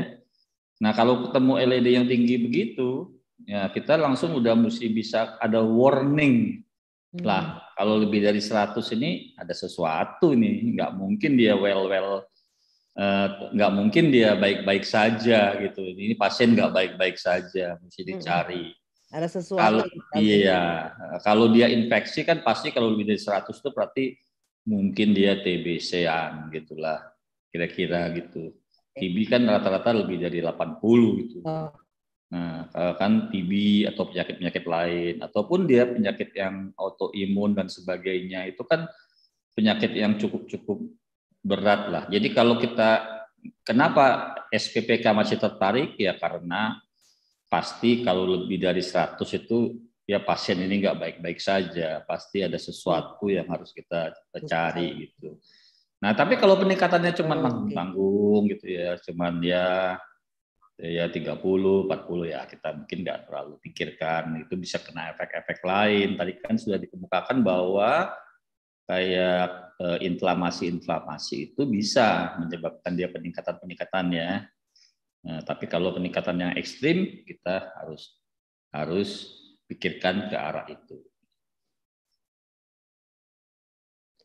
Itu Dokter Marina. Silakan. Dokter Agus ini ini ada, ada pertanyaan udah berapa lima pertanyaan untuk Dokter Agus ini dia. Saya izin kepada panitia ya untuk dia karena ini kayaknya cukup cukup menarik ini ya. Izin bertanya Dokter Agus, eh, pasien dengan inflamasi kronis sering disertai dengan anemia, penyakit kronis. Kita ketahui keadaan anemia laju darah dapat terbaca meningkat. Apakah laju darah boleh dipakai pada kasus seperti ini? Berapa persen pengaruh penurunan HB terhadap peningkatan laju nab darah? Iya, memang kalau uh, penurunan HB dan sebagainya tadi kan juga memang ada peningkatan dari LED dan sebagainya, tapi tidak se ekstrim yang tadi tidak se ekstrim sampai lebih dari 100 enggak gitu. Mm-hmm. Ya cenderung memang lebih lebih meningkat ya dibandingkan itu. Jadi jadi e, meningkatnya itu sedang-sedang saja, mild ya, dianggap mild gitu. Tapi tidak separah sampai misalnya gara-gara HB-nya turun terus bisa sampai 100, 180 gitu ya. Jadi ter, jadi HB itu memang eh, apa apa LED itu memang kita harus lihat dulu gradasinya seperti apa gitu. Jadi yang tadi yang saya jadi ini berkaitan dengan pertanyaan pertama tadi sebenarnya sudah mirip ya. Jadi kalau ya. misalnya jelas mendekati angka 100 itu ya kita bisa bilang pasien ini sih nggak baik-baik saja. Kita harus ya. carilah penyakitnya gitu ya. Seperti itu. Tapi kalau cuma naiknya dikit-dikit aja ya mungkin ya mungkin kita bisa pikirin kalau cuma 30 40 ah ini kena aneminya kali ini karena ininya kali karena dia inflamasi karena dia kehamilan kali karena dia iya. ini kali gitu kan? Iya. Nah, nah tapi kalau dia 100 wah ini udah. Jadi itulah kegunaannya kurang lebih LED ini memang nggak spesifik jadi bisa karena terganggu karena macam-macam. Tapi gangguan macam-macam itu nggak menyebabkan dia 100 gitu. Oke, jadi kita pokoknya prinsipnya kalau dia sudah lebih dari 100 itu kita ada warning untuk kita ya Dokter Agus ya. Iya. Terutama yang itu keganasan, infeksi, iya. dan yang tak satu lagi autoimun. Ya, sepertinya untuk dua pertanyaan dari Dokter Ari, Agus Triki Joko dan uh, Suseno dan dari Dokter Erawati itu uh, sepertinya seperti sama dengan yang di atas ya. Mirip mirip. Ya, mirip ya. Jadi kita akan skip dulu, kita ke dokter pertanyaan berikutnya. Itu dokter untuk Dokter Ina.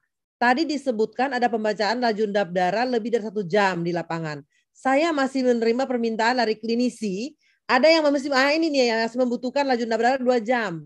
Sedangkan kita tidak ada standar dan nilai rujukan untuk laju darah dua jam. Mohon tanggapan dokter dokter Ina dalam hal ini karena ini memang masih banyak yang minta dua jam dokter Ina klinisinya. Bagaimana dokter Ina? Iya terima kasih. Ya kalau di tempat dokter masih banyak yang perlu dua jam ya ya terpaksa disediakan. Kita ya. akan provider yang baik gitu ya. Nah, kalau dokter berkenan ya nanti kalau pas ada MCU sekali-sekali diamin aja dulu sampai dia melewati jam kedua. Jadi dokter dapat kurang lebih angka rujukan untuk di tempat dokter berapa. Begitu saran saya. Uh, uh. Mungkin kalau untuk dua jam begini, kalau kita pakai otomatis otomatis otomatis begitu nggak bisa lagi dokter Ina ya? Nggak bisa, nggak bisa. Gak bisa lagi ya. ya nggak bisa. Uh, uh. Ini ada pertanyaan dari dokter masih ada waktu lagi tiga menit dari dokter Yuliani Malang. Mohon izin bertanya, lebih urgent mana? Melakukan kalibrasi dari tabungnya atau melakukan kontrol? Untuk saya ya. Oh ya. Kalau kalibrasi itu kan cuma uh, sekali waktu kita validasi sebetulnya mungkin maksudnya validasi itu cuma saat iya, pertama kita memilih uh, kita mau pindah ke metode ini lalu kita validasi bagaimana hubungannya dengan metode yang umum yang kita sudah pakai sebelumnya. Kalau kontrol itu sebetulnya ya seperti kita quality control sama seperti pemeriksaan hema atau kimia klinik kan pada waktu awal alat itu datang kita validasi atau verifikasi. Kemudian sehari-hari kita melakukan quality control. Walaupun saya katakan tadi kalau LED kayaknya hampir tidak pernah orang melakukan quality control kecuali pakai alat otomatis. Iya. Ya. Oke. Ini ada dua pertanyaan terakhir nih kayaknya sih ya. Uh, dari dokter Mutiara. Mungkin untuk dokter Ina, dokter Agus bisa ya. Uh, ingin bertanya jika didapat laju endap darah 120 dan BTA negatif pada pasien COVID dengan keluhan ISPA, apakah ini cenderung memang karena COVID atau bisa karena kemungkinan yang lain? Nah ini kayaknya sih sama kita lah balik lagi ke dokter Agus tadi ya. Kalau di atas 100 ya dokter Agus ya. Bagaimana menurut dokter Agus, dokter Ina? Ya, silakan dokter Agus saja dulu. Kalau saya sih eh, memang saya lihat pada COVID ya meningkatnya lumayan dan yaitu turunnya lebih lambat dibandingkan ferritin. Saya hanya bisa bilang demikian. Saya bukan klinisi soalnya, tapi saya hanya mengamati angka-angka di laboratorium. Ya, bagus bisa menambahkan. Ya, memang uh, salah satu uh, penyakit uh, infeksi yang dapat meningkatkan LED adalah uh, ya COVID.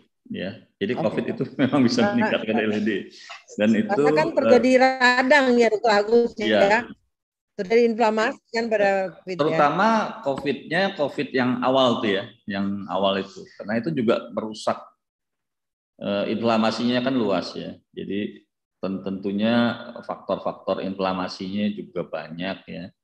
Itu bisa meningkatkan LED-nya cukup tinggi. Jadi memang uh, nggak heran sih kalau uh, pada pasien COVID LED-nya 120 tuh eh, pada pasien COVID hmm. kalau eh, BTA-nya negatif itu bukan TB ya bisa saja. Si CRP-nya aja meningkat sekali ya, dokter ya. Agus ya. ya jadi memang itu bisa terjadi ya dan memang tadi juga dikatakan kalau dia sudah naik ini eh, turunnya agak lama karena dia tunggu globulinnya ini turun dulu semua baru dia bisa turun gitu jadi agak bertahan lama berminggu-minggu bahkan berbulan-bulan dia baru bisa turun. Iya betul. Ini, gitu. Iya.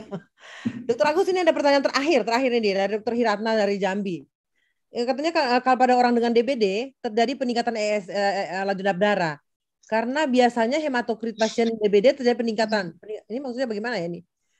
Apakah pada pasien DBD terjadi peningkatan laju darah? Oh, Dokter Hirata menanyakan pada orang dengan laju dap, eh, dengan DBD, apakah terjadi peningkatan laju dap darah karena hematokritnya juga meningkat? Uh, iya pada eh, hemokonsentrasi ya mungkin bisa lah terjadi peningkatan LED ya pada hemo tapi itu kan tidak terlalu meningkat sekali seperti infeksi-infeksi hmm. lainnya seperti infeksi kronik lainnya jadi dia meningkatnya karena uh, hiper uh, karena uh, hemokonsentrasinya itu. Hemokonsentrasi ya dokter ya. Agus. Ya, Padahal kalau kan laju darah kan dia globulinnya yang kita dipengaruhi. Ya, seperti ya. polistemia seperti itu. Jadi mungkin karena itu. Oke, ternyata banyak juga pertanyaan yang masuk ya. Uh, kita sudah sampai pada akhir tanya jawab, akhir dari webinar kita. Uh, di sini kita bisa simpulkan bahwa Dokter Ina telah mengangkat mengenai evolusi daripada pemeriksaan laju darah sampai sekarang perkembangan yang baru. Dokter Agus melihat dari sisi klinisinya itu bagaimana dalam hal ini dia. Bagaimana peran dari laju darah yang kita tahu bahwa uh, cukup uh, banyak manfaatnya, tapi tidak boleh merupakan satu pemisahan yang berdiri sendiri. Selalu harus menjadi dikombinasikan dan kita harus apa tuh ya, apa uh, mawas atau apa was-was dalam hal ini kalau laju darah itu di atas 100 seperti itu. Oke, mungkin seperti itu uh, Dokter Agus, Dokter Ina, waktu sudah cukup uh, lewat sedikit ya. Saya kembalikan terima kasih kepada Dokter Agus dan Dokter Ina dengan presentasi yang begitu menarik. Uh, saya kembalikan kepada Mas Wahyu. Silakan Dokter Mas Wahyu. Uh, terima kasih Dokter Marina dan dua pembicara, Dokter Agus dan Dokter Ina. Tentunya materi yang sangat menarik sekali bisa membantu refresh untuk pemeriksaan LED dan betapa pentingnya pemeriksaan LED yang sekarang mungkin jarang dikerjakan. Semoga uh, materi kali ini bisa menambah wawasan kita khususnya untuk pemeriksaan ISR atau LED.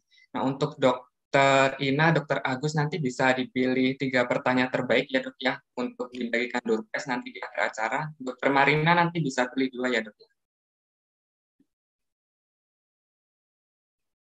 Kita masuk ke acara berikutnya yaitu sesi informasi produk. Ini merupakan pengenalan atau launching produk terbaru dari Nihon Kohden yaitu Nihon Kohden Celtac Alpha Plus MEK 1305 yang mana alat ini bisa digunakan untuk pengukuran hematologi, tiga diferensial, dan ISR atau LED. Jadi sudah satu paket di dalam alat hematologi analyzer. Dia akan disampaikan oleh Ibu Shelly Putri Kusuma SSI selaku produk spesialis dari PT Ganesari Eka Satya. Sebelumnya saya akan menyampaikan CV dari Ibu Shelly.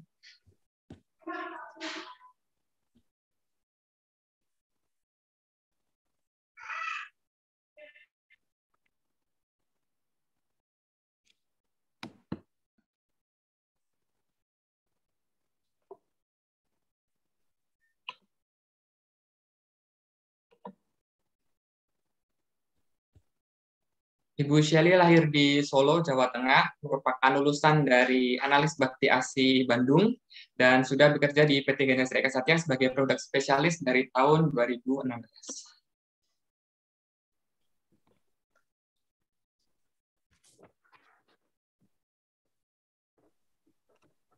Tentunya uh, para peserta webinar uh, sudah sangat antusias untuk menantikan informasi produk terbaru launching dari PT Genester Eka Satya. Nanti apabila ada pertanyaan bisa ditulis di kolom Q&A, nanti akan dijawab langsung oleh Ibu Shelly. Untuk panitia mohon untuk di share link absensi bisa ditaruh di kolom chat ya. Uh, selamat siang Ibu Shelly. Halo, selamat siang Mas Wahyu. Uh, sudah siap ya untuk presentasi produk? Siap.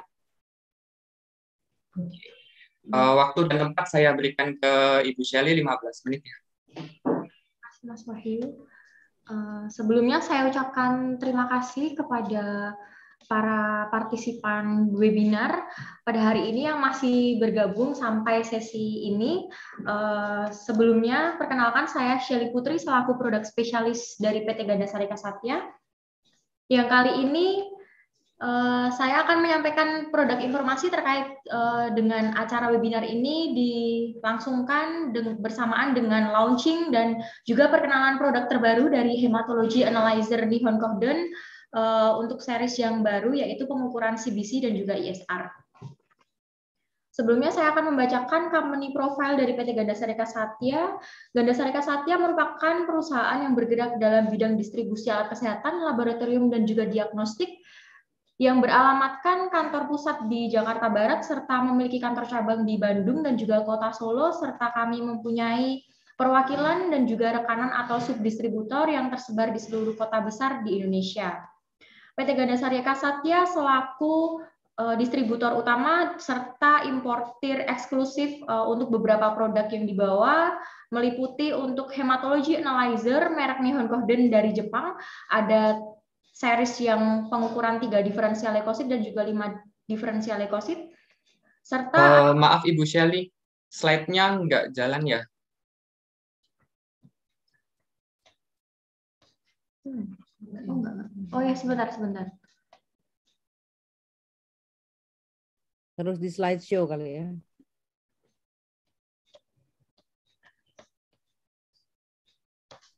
Di slide show biar dia jalan, Mbak Shelly.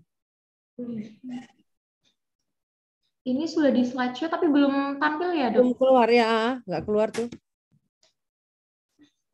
Udah.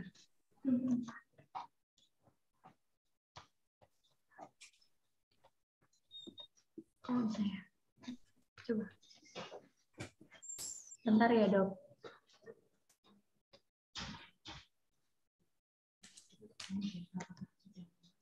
Apakah sudah dok? Belum, belum. Belum ya? Tadi udah muncul. Tadi udah muncul. Tapi ini masih dalam bentuk biasa nih belum slideshow. Coba diulang lagi slideshow Ibu Shelly.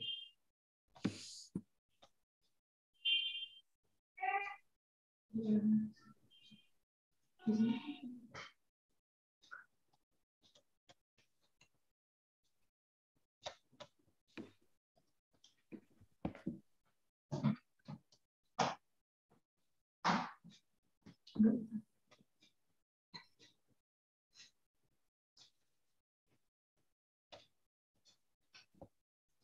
enggak karena waktunya terbatas, apa bisa presentasi dalam bentuk seperti ini nggak usah di slideshow dari para peserta apa terlihat jelas presentasinya apabila tidak di slideshow bisa Begini aja, tapi di manual aja, dipindah-pindah secara manual aja.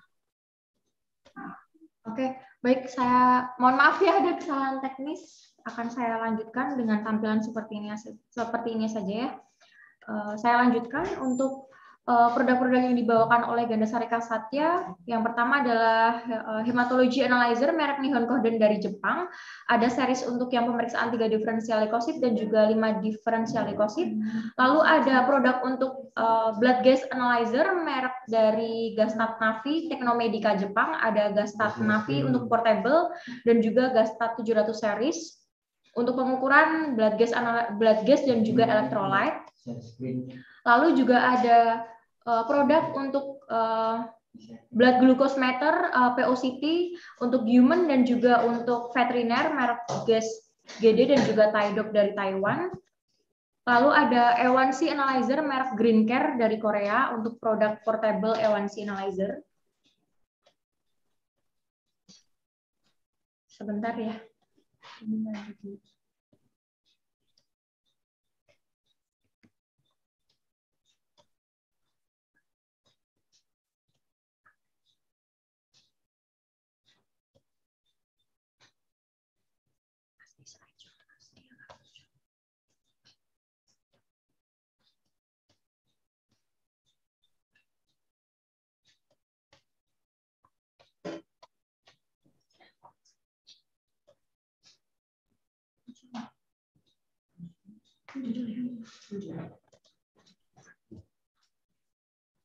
Selanjutnya ada produk untuk eh, laboratorium mikrobiologi. Eh, yang pertama ada swab transport dan juga tabung transport dari produk Copan Itali. Lalu ada produk untuk eh, media kultur Condalab dari Spanyol. Lalu juga mempunyai produk untuk VTM merek Dasky.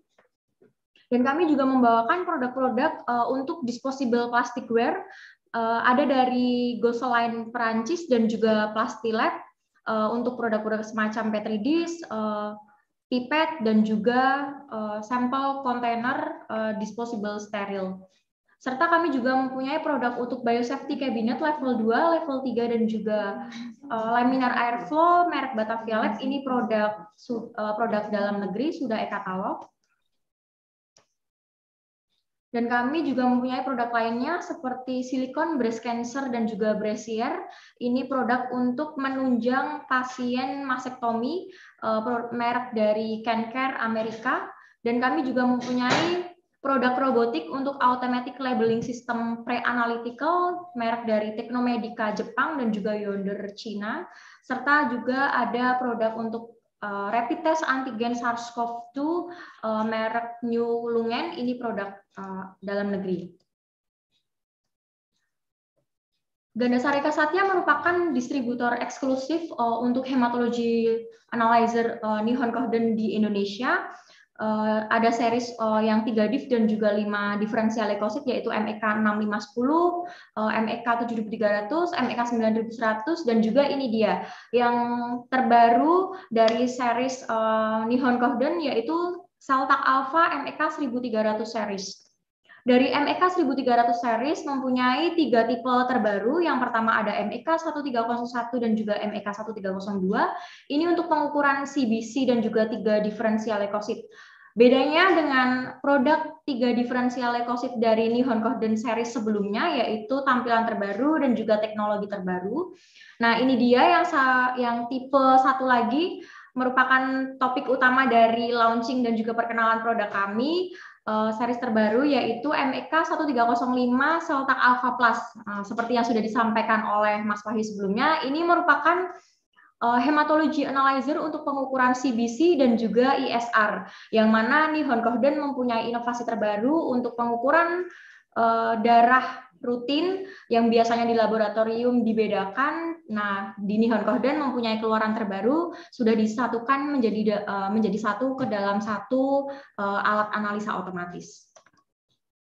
Berikut ini untuk spesifikasi tipe yang MEK 1301 dan juga 1302. Keduanya bisa mengukur 24 parameter sekaligus di dalamnya untuk CBC dan juga tiga diferensial tiga diferensial leukosit yaitu limfosit, monosit dan juga granulosit serta parameter tambahan untuk parameter research yaitu PLCC ini untuk mengukur jumlah trombosit giant yang ukurannya lebih dari 9 femtoliter, lalu ada Menzer Index dan juga RDWI ini digunakan untuk membedakan screening penyakit anemia defisiensi besi dan juga talasemia, beta, lalu juga ada NLR digunakan untuk screening infeksi.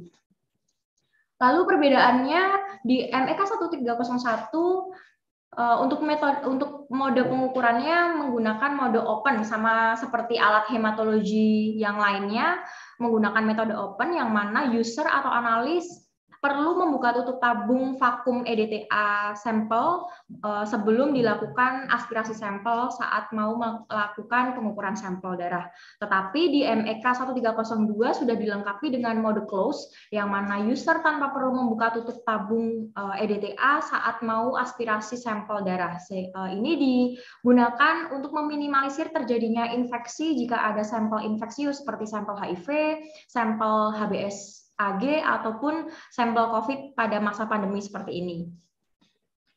Dan juga keduanya menggunakan metode pengukuran yaitu electrical impedance untuk pengukuran CBC yaitu untuk pengukuran PLT, RBC dan juga eh, WBC dan juga parameter turunannya dengan teknologi terbaru yaitu Dynahelix Flow teknologi yang mana yang mana teknologi ini digunakan untuk uh, penyelarasan pengukuran uh, dari sel eritrosit, leukosit, dan juga trombosit sehingga lebih presisi dan akurasi dan juga meminimalisir terjadinya pembacaan ulang sel dan juga meminimalisir terjadinya pembacaan uh, hasil palsu seperti tinggi palsu ataupun rendah palsu sehingga lebih uh, presisi dan juga akurat. Nah, berikut memasuki ke dalam uh, topik utama yang dibicarakan yaitu untuk Saltak Alpha Plus MEK 1305 eh, yang mana digunakan untuk pengukuran CBC dan juga eh, ISR atau LED. Yang seperti kita tahu bahwa yang sudah dijelaskan juga oleh Dr. Ina dan juga Dr. Agus terkait dengan ukuran uh, eh, LED pada laboratorium umumnya menggunakan gold standar yang dipakai yaitu metode Westergreen uh, yang mana dengan pengukuran sel-sel darah uh, pengukuran darah pada tabung Westergreen tegak lurus selama satu jam maka diukur seberapa uh, pengendapan dari sel-sel eritrosit tersebut. Tetapi bagaimana dengan alat analisa hematologi uh, Nihon Kohden ini bisa mengeluarkan hasil ISR sekaligus ke dalam alat dan tentunya sudah pasti dalam waktu yang sangat yang sangat cepat gitu. Nah, uh, di MEK 1305 uh, Nihon Kohden menggunakan metode Cell Counter Integrated Rheometric Excellence atau CYREX teknologi untuk pengukuran ISR-nya dengan mekanisme eh, sel-sel darah merah disinari oleh sinar LED, lalu cahaya yang ditangkap oleh sel-sel darah merah itu ditransmisikan dan dituangkan ke dalam bentuk grafik. Saat sel-sel darah merah itu melaju eh, dengan aliran yang tinggi, sel-sel eritrosit menyebar. Nah, pada grafik digambarkan seperti yang sudah tertampil ini saat sel-sel eritrosit melaju digambarkan dengan grafik lurus. Selanjutnya, setelah aliran berhenti, sel eritrosit mulai setelah aliran berhenti di grafik digambarkan dengan grafik menurun. Setelah uh, aliran berhenti, sel-sel eritrosit mulai saling menempel satu sama lain uh, sesuai dengan ukuran yang seragam membentuk formasi Rolex. Di grafik digambarkan dengan garis meningkat. Setelah eh, sel-sel eritrosit membentuk formasi Rolex, maka dengan seiring berjalannya waktu ke waktu akan membentuk agregat dari sel-sel eritrosit tersebut.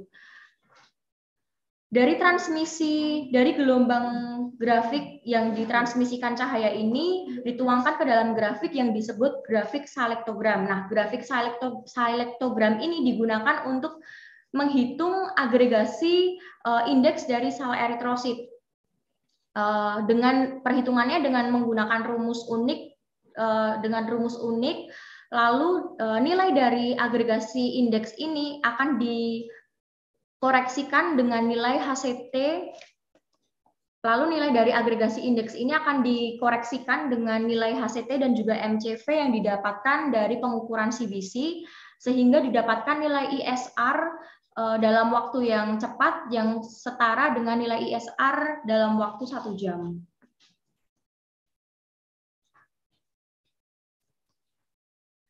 Terkait dengan nilai ISR yang dikoreksikan dengan uh, nilai dari uh, eh, HCT dan juga MCV, tentunya keduanya saling berhubungan. Nah, berikut ini merupakan hubungan dari nilai ISR uh, eh, efek dari HCT dan juga MJV yang mana efek dari HCT jika didapatkan sedimentasi yang lebih lambat biasanya terjadi pada nilai HCT yang lebih tinggi. Begitu juga sebaliknya jika uh, didapatkan agregat dari sel eritrosit yang lebih besar, biasanya nilai HCT-nya akan lebih rendah. Begitu juga dengan efek dari MCV pada nilai ISR, biasanya ditemukan sedimentasi meningkat bersamaan dengan meningkatnya ukuran sel eritrosit atau nilai MCV. Begitu juga sebaliknya jika nilai MCV-nya menurun, maka uh, nilai LED-nya pasti akan lebih rendah atau uh, sedimentasinya akan lebih lambat.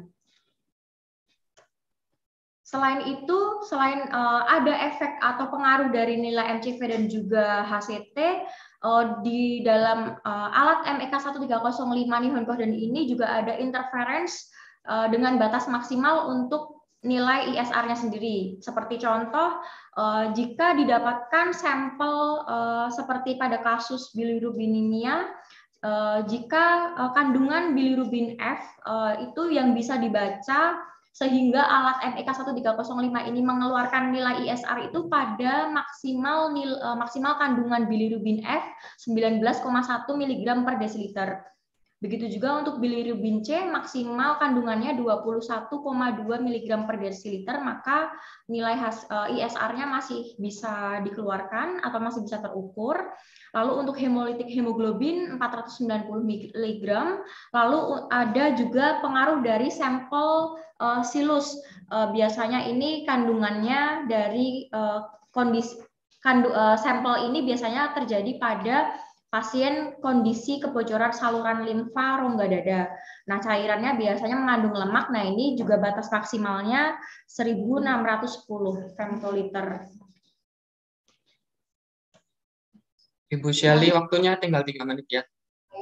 Selanjutnya uh, saya akan membacakan untuk spesifikasi alat MEK 1305 bisa mengukur 32 parameter termasuk di dalamnya parameter diagnosa CBC plus ISR atau LED dan juga parameter research uh, eh, PLCC, Measure Index, LD, RDWI, NLR serta parameter-parameter yang digunakan sebagai faktor koreksi uh, untuk nilai ISR.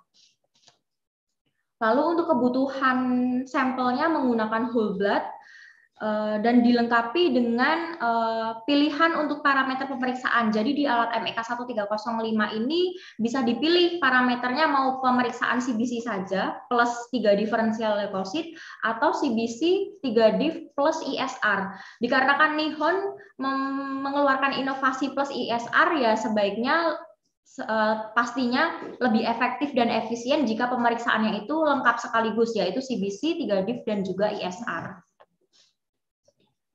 Dan uh, untuk pengukuran uh, ISR bisa keluar uh, 95 detik uh, pengukuran. Jadi di waktu uh, dari pengukuran CBC terlebih dahulu nilainya keluar dari CBC, lalu uh, selanjutnya nilai ISR-nya akan keluar.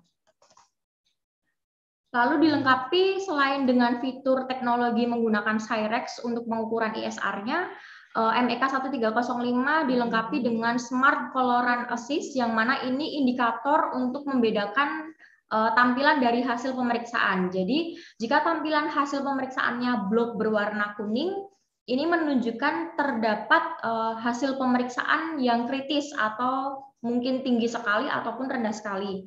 Sedangkan jika blok berwarna orange ini menandakan ada uh, error tetapi yang diakibatkan oleh sampel. Biasanya ada clog atau sumbatan ataupun bubble dari aliran darah ataupun aliran reagen. Begitu juga jika didapati blok berwarna merah, ini biasanya terdapat error yang diakibatkan oleh alat. Ini fungsinya untuk uh, memudahkan user uh, dalam membedakan hasil jika tampilannya pada kondisi seperti ini mereka harus apa seperti itu. Lalu berikut ini tampilan dari hasil pemeriksaan di alat MEK 1305. Setiap kali pemeriksaan sudah akan tertampil nilai dari CBC lengkap, yaitu CBC div, dan juga nilai dari parameter research-nya. Jadi nilai dari parameter research-nya juga akan muncul dengan angka. Lalu juga ada nilai dari ISR-nya dalam bentuk grafik dan juga uh, satuan milimeter serta dilengkapi dengan grafik histogram dan juga akan ada muncul flagging alarm. Ibu Shelly, waktunya tinggal satu menit ya. Lalu untuk konsumsi reagen, di alat MEK 1305 menggunakan empat jenis reagen. Yang pertama ada diluent, isotonak 3, lysing reagen, hemolinak 310, clean, uh, untuk deterjen ada dua jenis, tetapi yang sering digunakan untuk pemeriksaan harian yaitu Klinak 710. Sedangkan Klinak 3 ini lebih ke arah untuk pencucian kuat, tetapi penggunaannya tidak sering dan juga dilengkapi dengan kontrol dan juga kalibrator termasuk di uh, termasuk untuk uh, pengukuran ISR atau LED-nya juga sudah ada kontrol dan kalibratornya. Lalu alat ini juga bisa disambungkan dengan LIS atau HIS yang mana uh, untuk memanajemenkan hasil dari alat bisa langsung disambungkan ke dalam administrasi data di laboratorium atau rumah sakit secara terpusat. Dikarenakan ini alat baru launching tetap uh, baru launching di Indonesia tetapi di Nihon Kohden Jepang uh, sudah dilakukan clinical evaluasi tes uh, dan juga sudah ada install base di beberapa negara uh, dan rencananya akan segera dilakukan clinical evaluasi tes di Indonesia yang nantinya akan dilaksanakan dan dilaksanakan dengan dokter Ina Estiman sebagai evaluatornya. Berikut itu tadi yang dapat saya sampaikan terkait dengan uh, perkenalan produk untuk uh, CBC dan juga ISR Nihon Kohden Hematology Analyzer. Uh, untuk acara saya kembalikan ke Wahyu. Uh, jika ada pertanyaan bisa langsung disampaikan di kolom Q&A. Terima kasih. Uh, terima kasih Ibu Shelly atas pemaparan info produk Nihon Golden Celtac Alpha Plus 1305. Menarik sekali ya alat ini dapat meringkas yang dulunya eh, LED dikerjakan dalam waktu satu jam, ini bisa dalam waktu hanya tiga menit tanpa ada tambahan BHP seperti tabung atau reagen lagi. Jadi satu paket dengan alat hematologi. Mengingatkan lagi untuk link absensi dan materi bisa di-share dari panitia. Ini Bu Celi sudah masuk beberapa pertanyaan ya dari para peserta. Saya coba bacakan.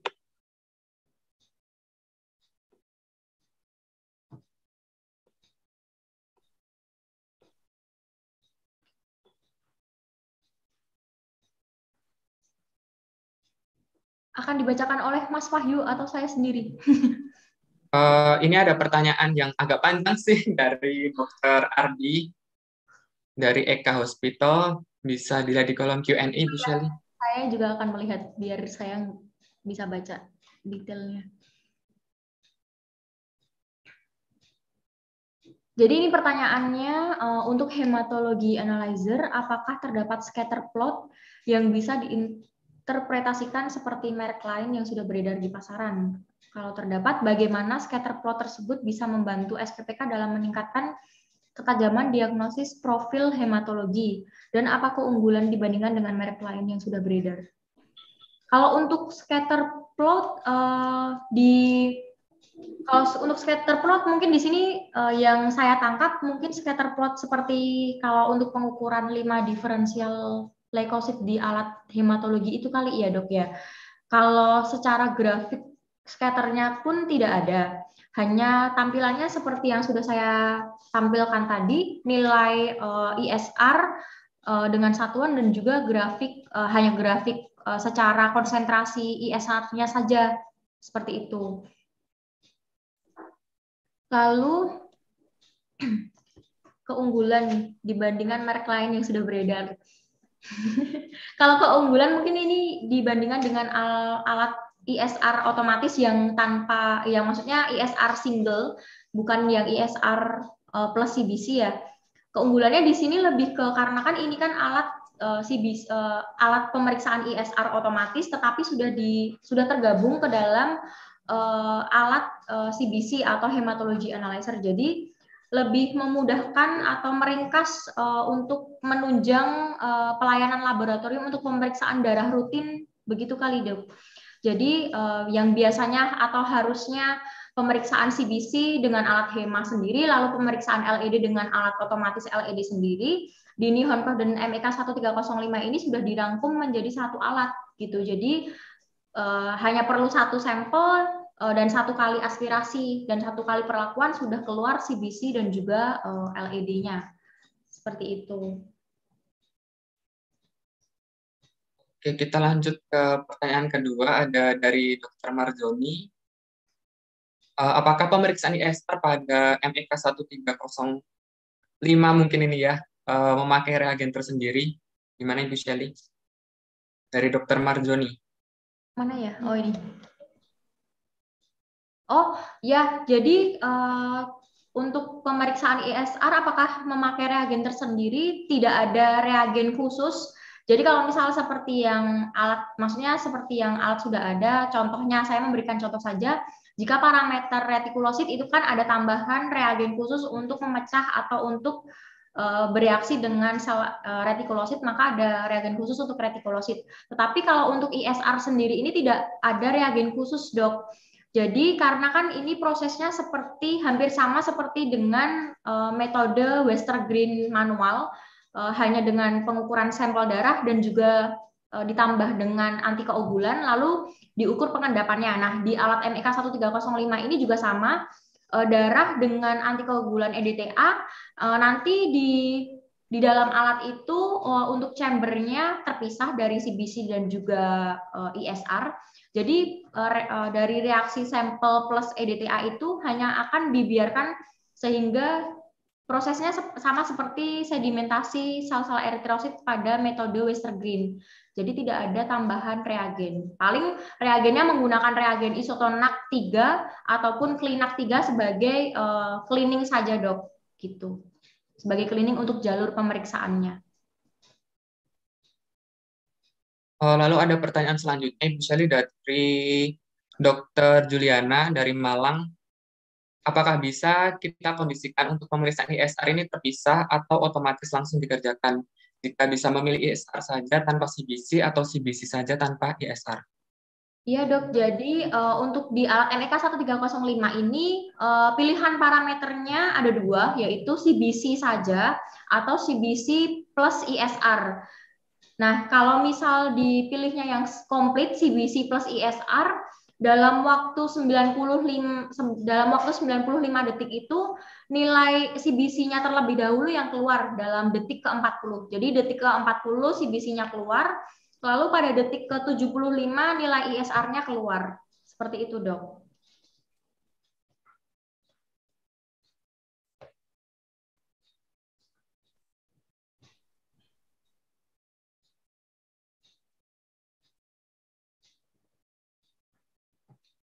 Lalu ini masih ada pertanyaan lumayan banyak sih Bu Shell ini yang terlalu kepo mungkin ya masih penasaran dengan alat 1305.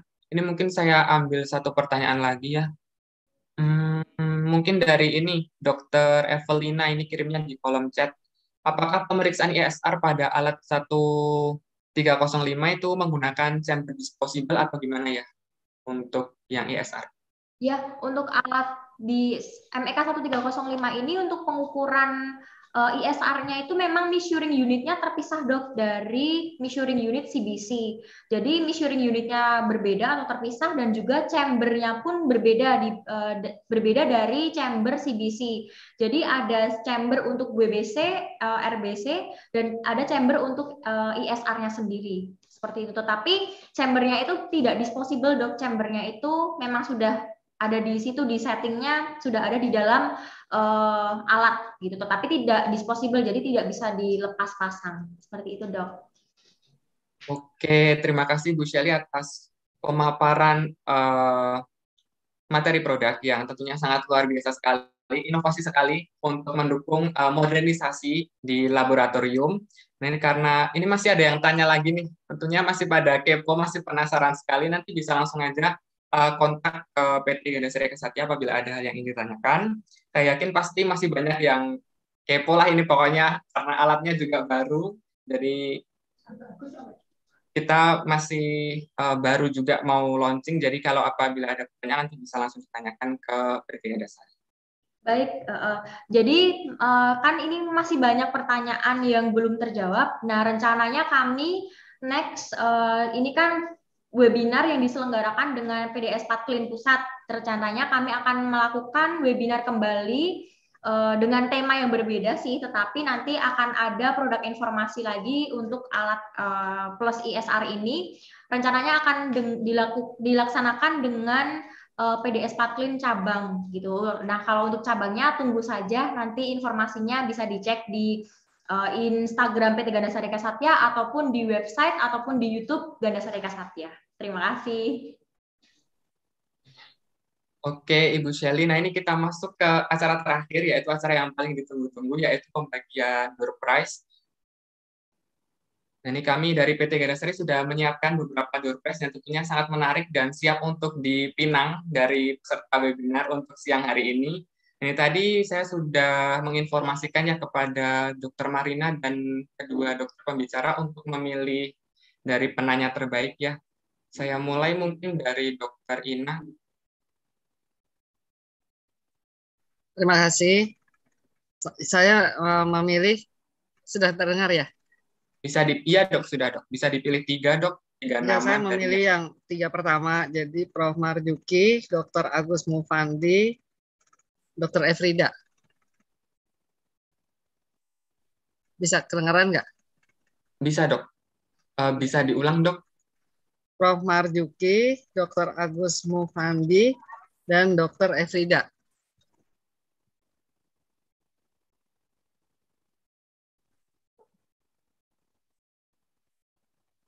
Untuk Dr. Agus bisa juga dipilih tiga dok.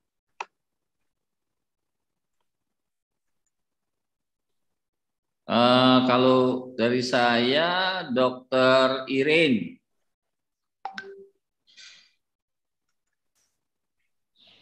Terus Dokter Adrian Yaputra. Eng. Satu lagi eh, Dokter Mutiara Nurmasari. Oke, terima kasih dok. Dari dokter Marina bisa dipilih dua dok. Masih di mute dokter Marina. Sorry. Kalau saya dokter Risma ya.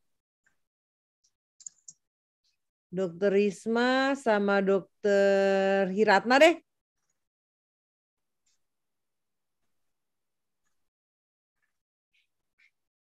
Hiratna, oke. Okay.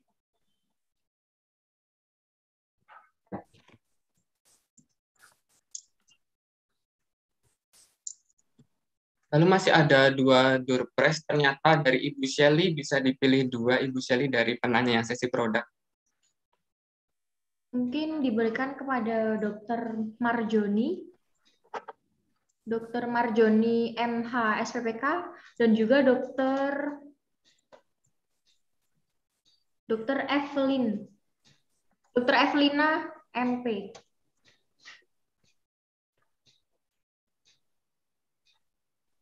Oke, tadi peserta yang mendapatkan door prize nanti jangan lupa untuk mengisi link absensi karena nanti akan dihubungi langsung oleh PT Gandasari. Jadi nanti ditunggu saja untuk nama-nama yang sudah disebut nanti akan dihubungi lebih lanjut oleh PT Gandasari untuk hadiah door prize yang akan diberikan.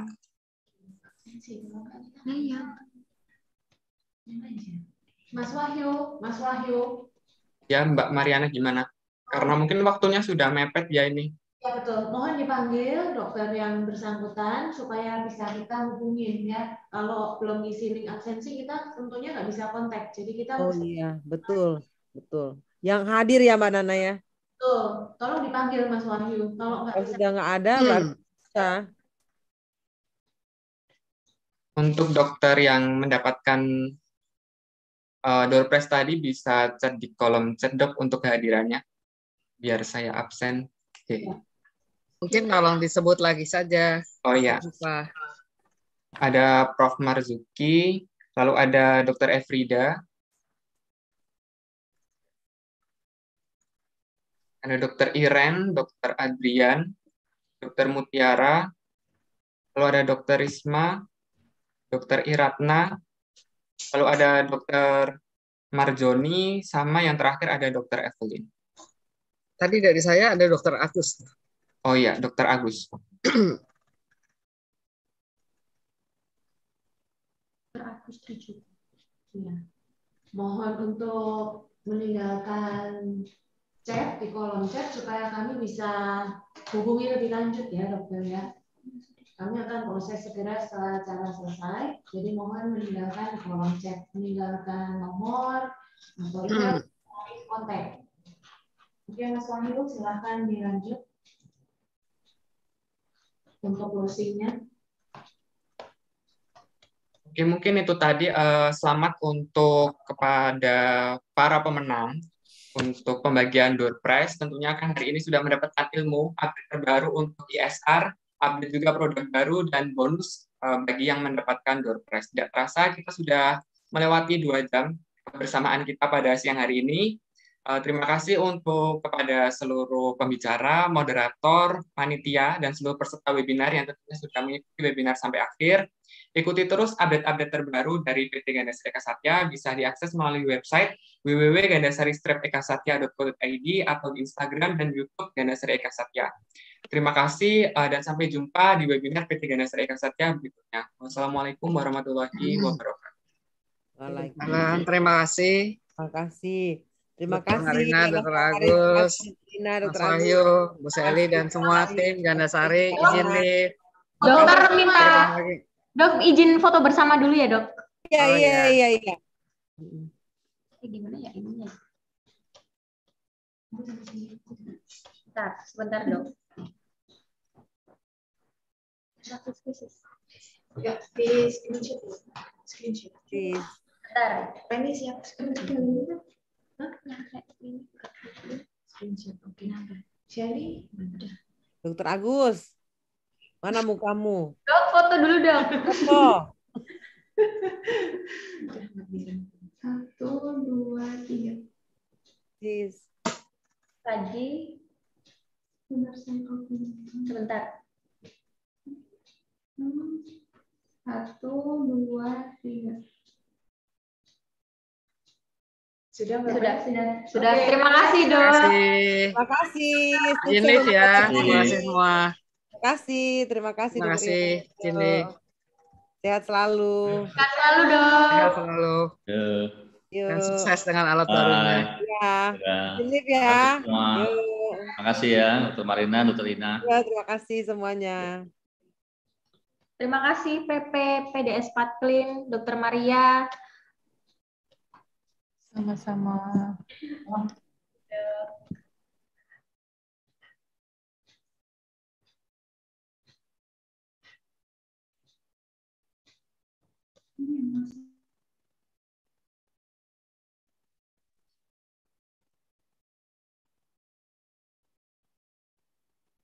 Saya N ya, Dokter Agus.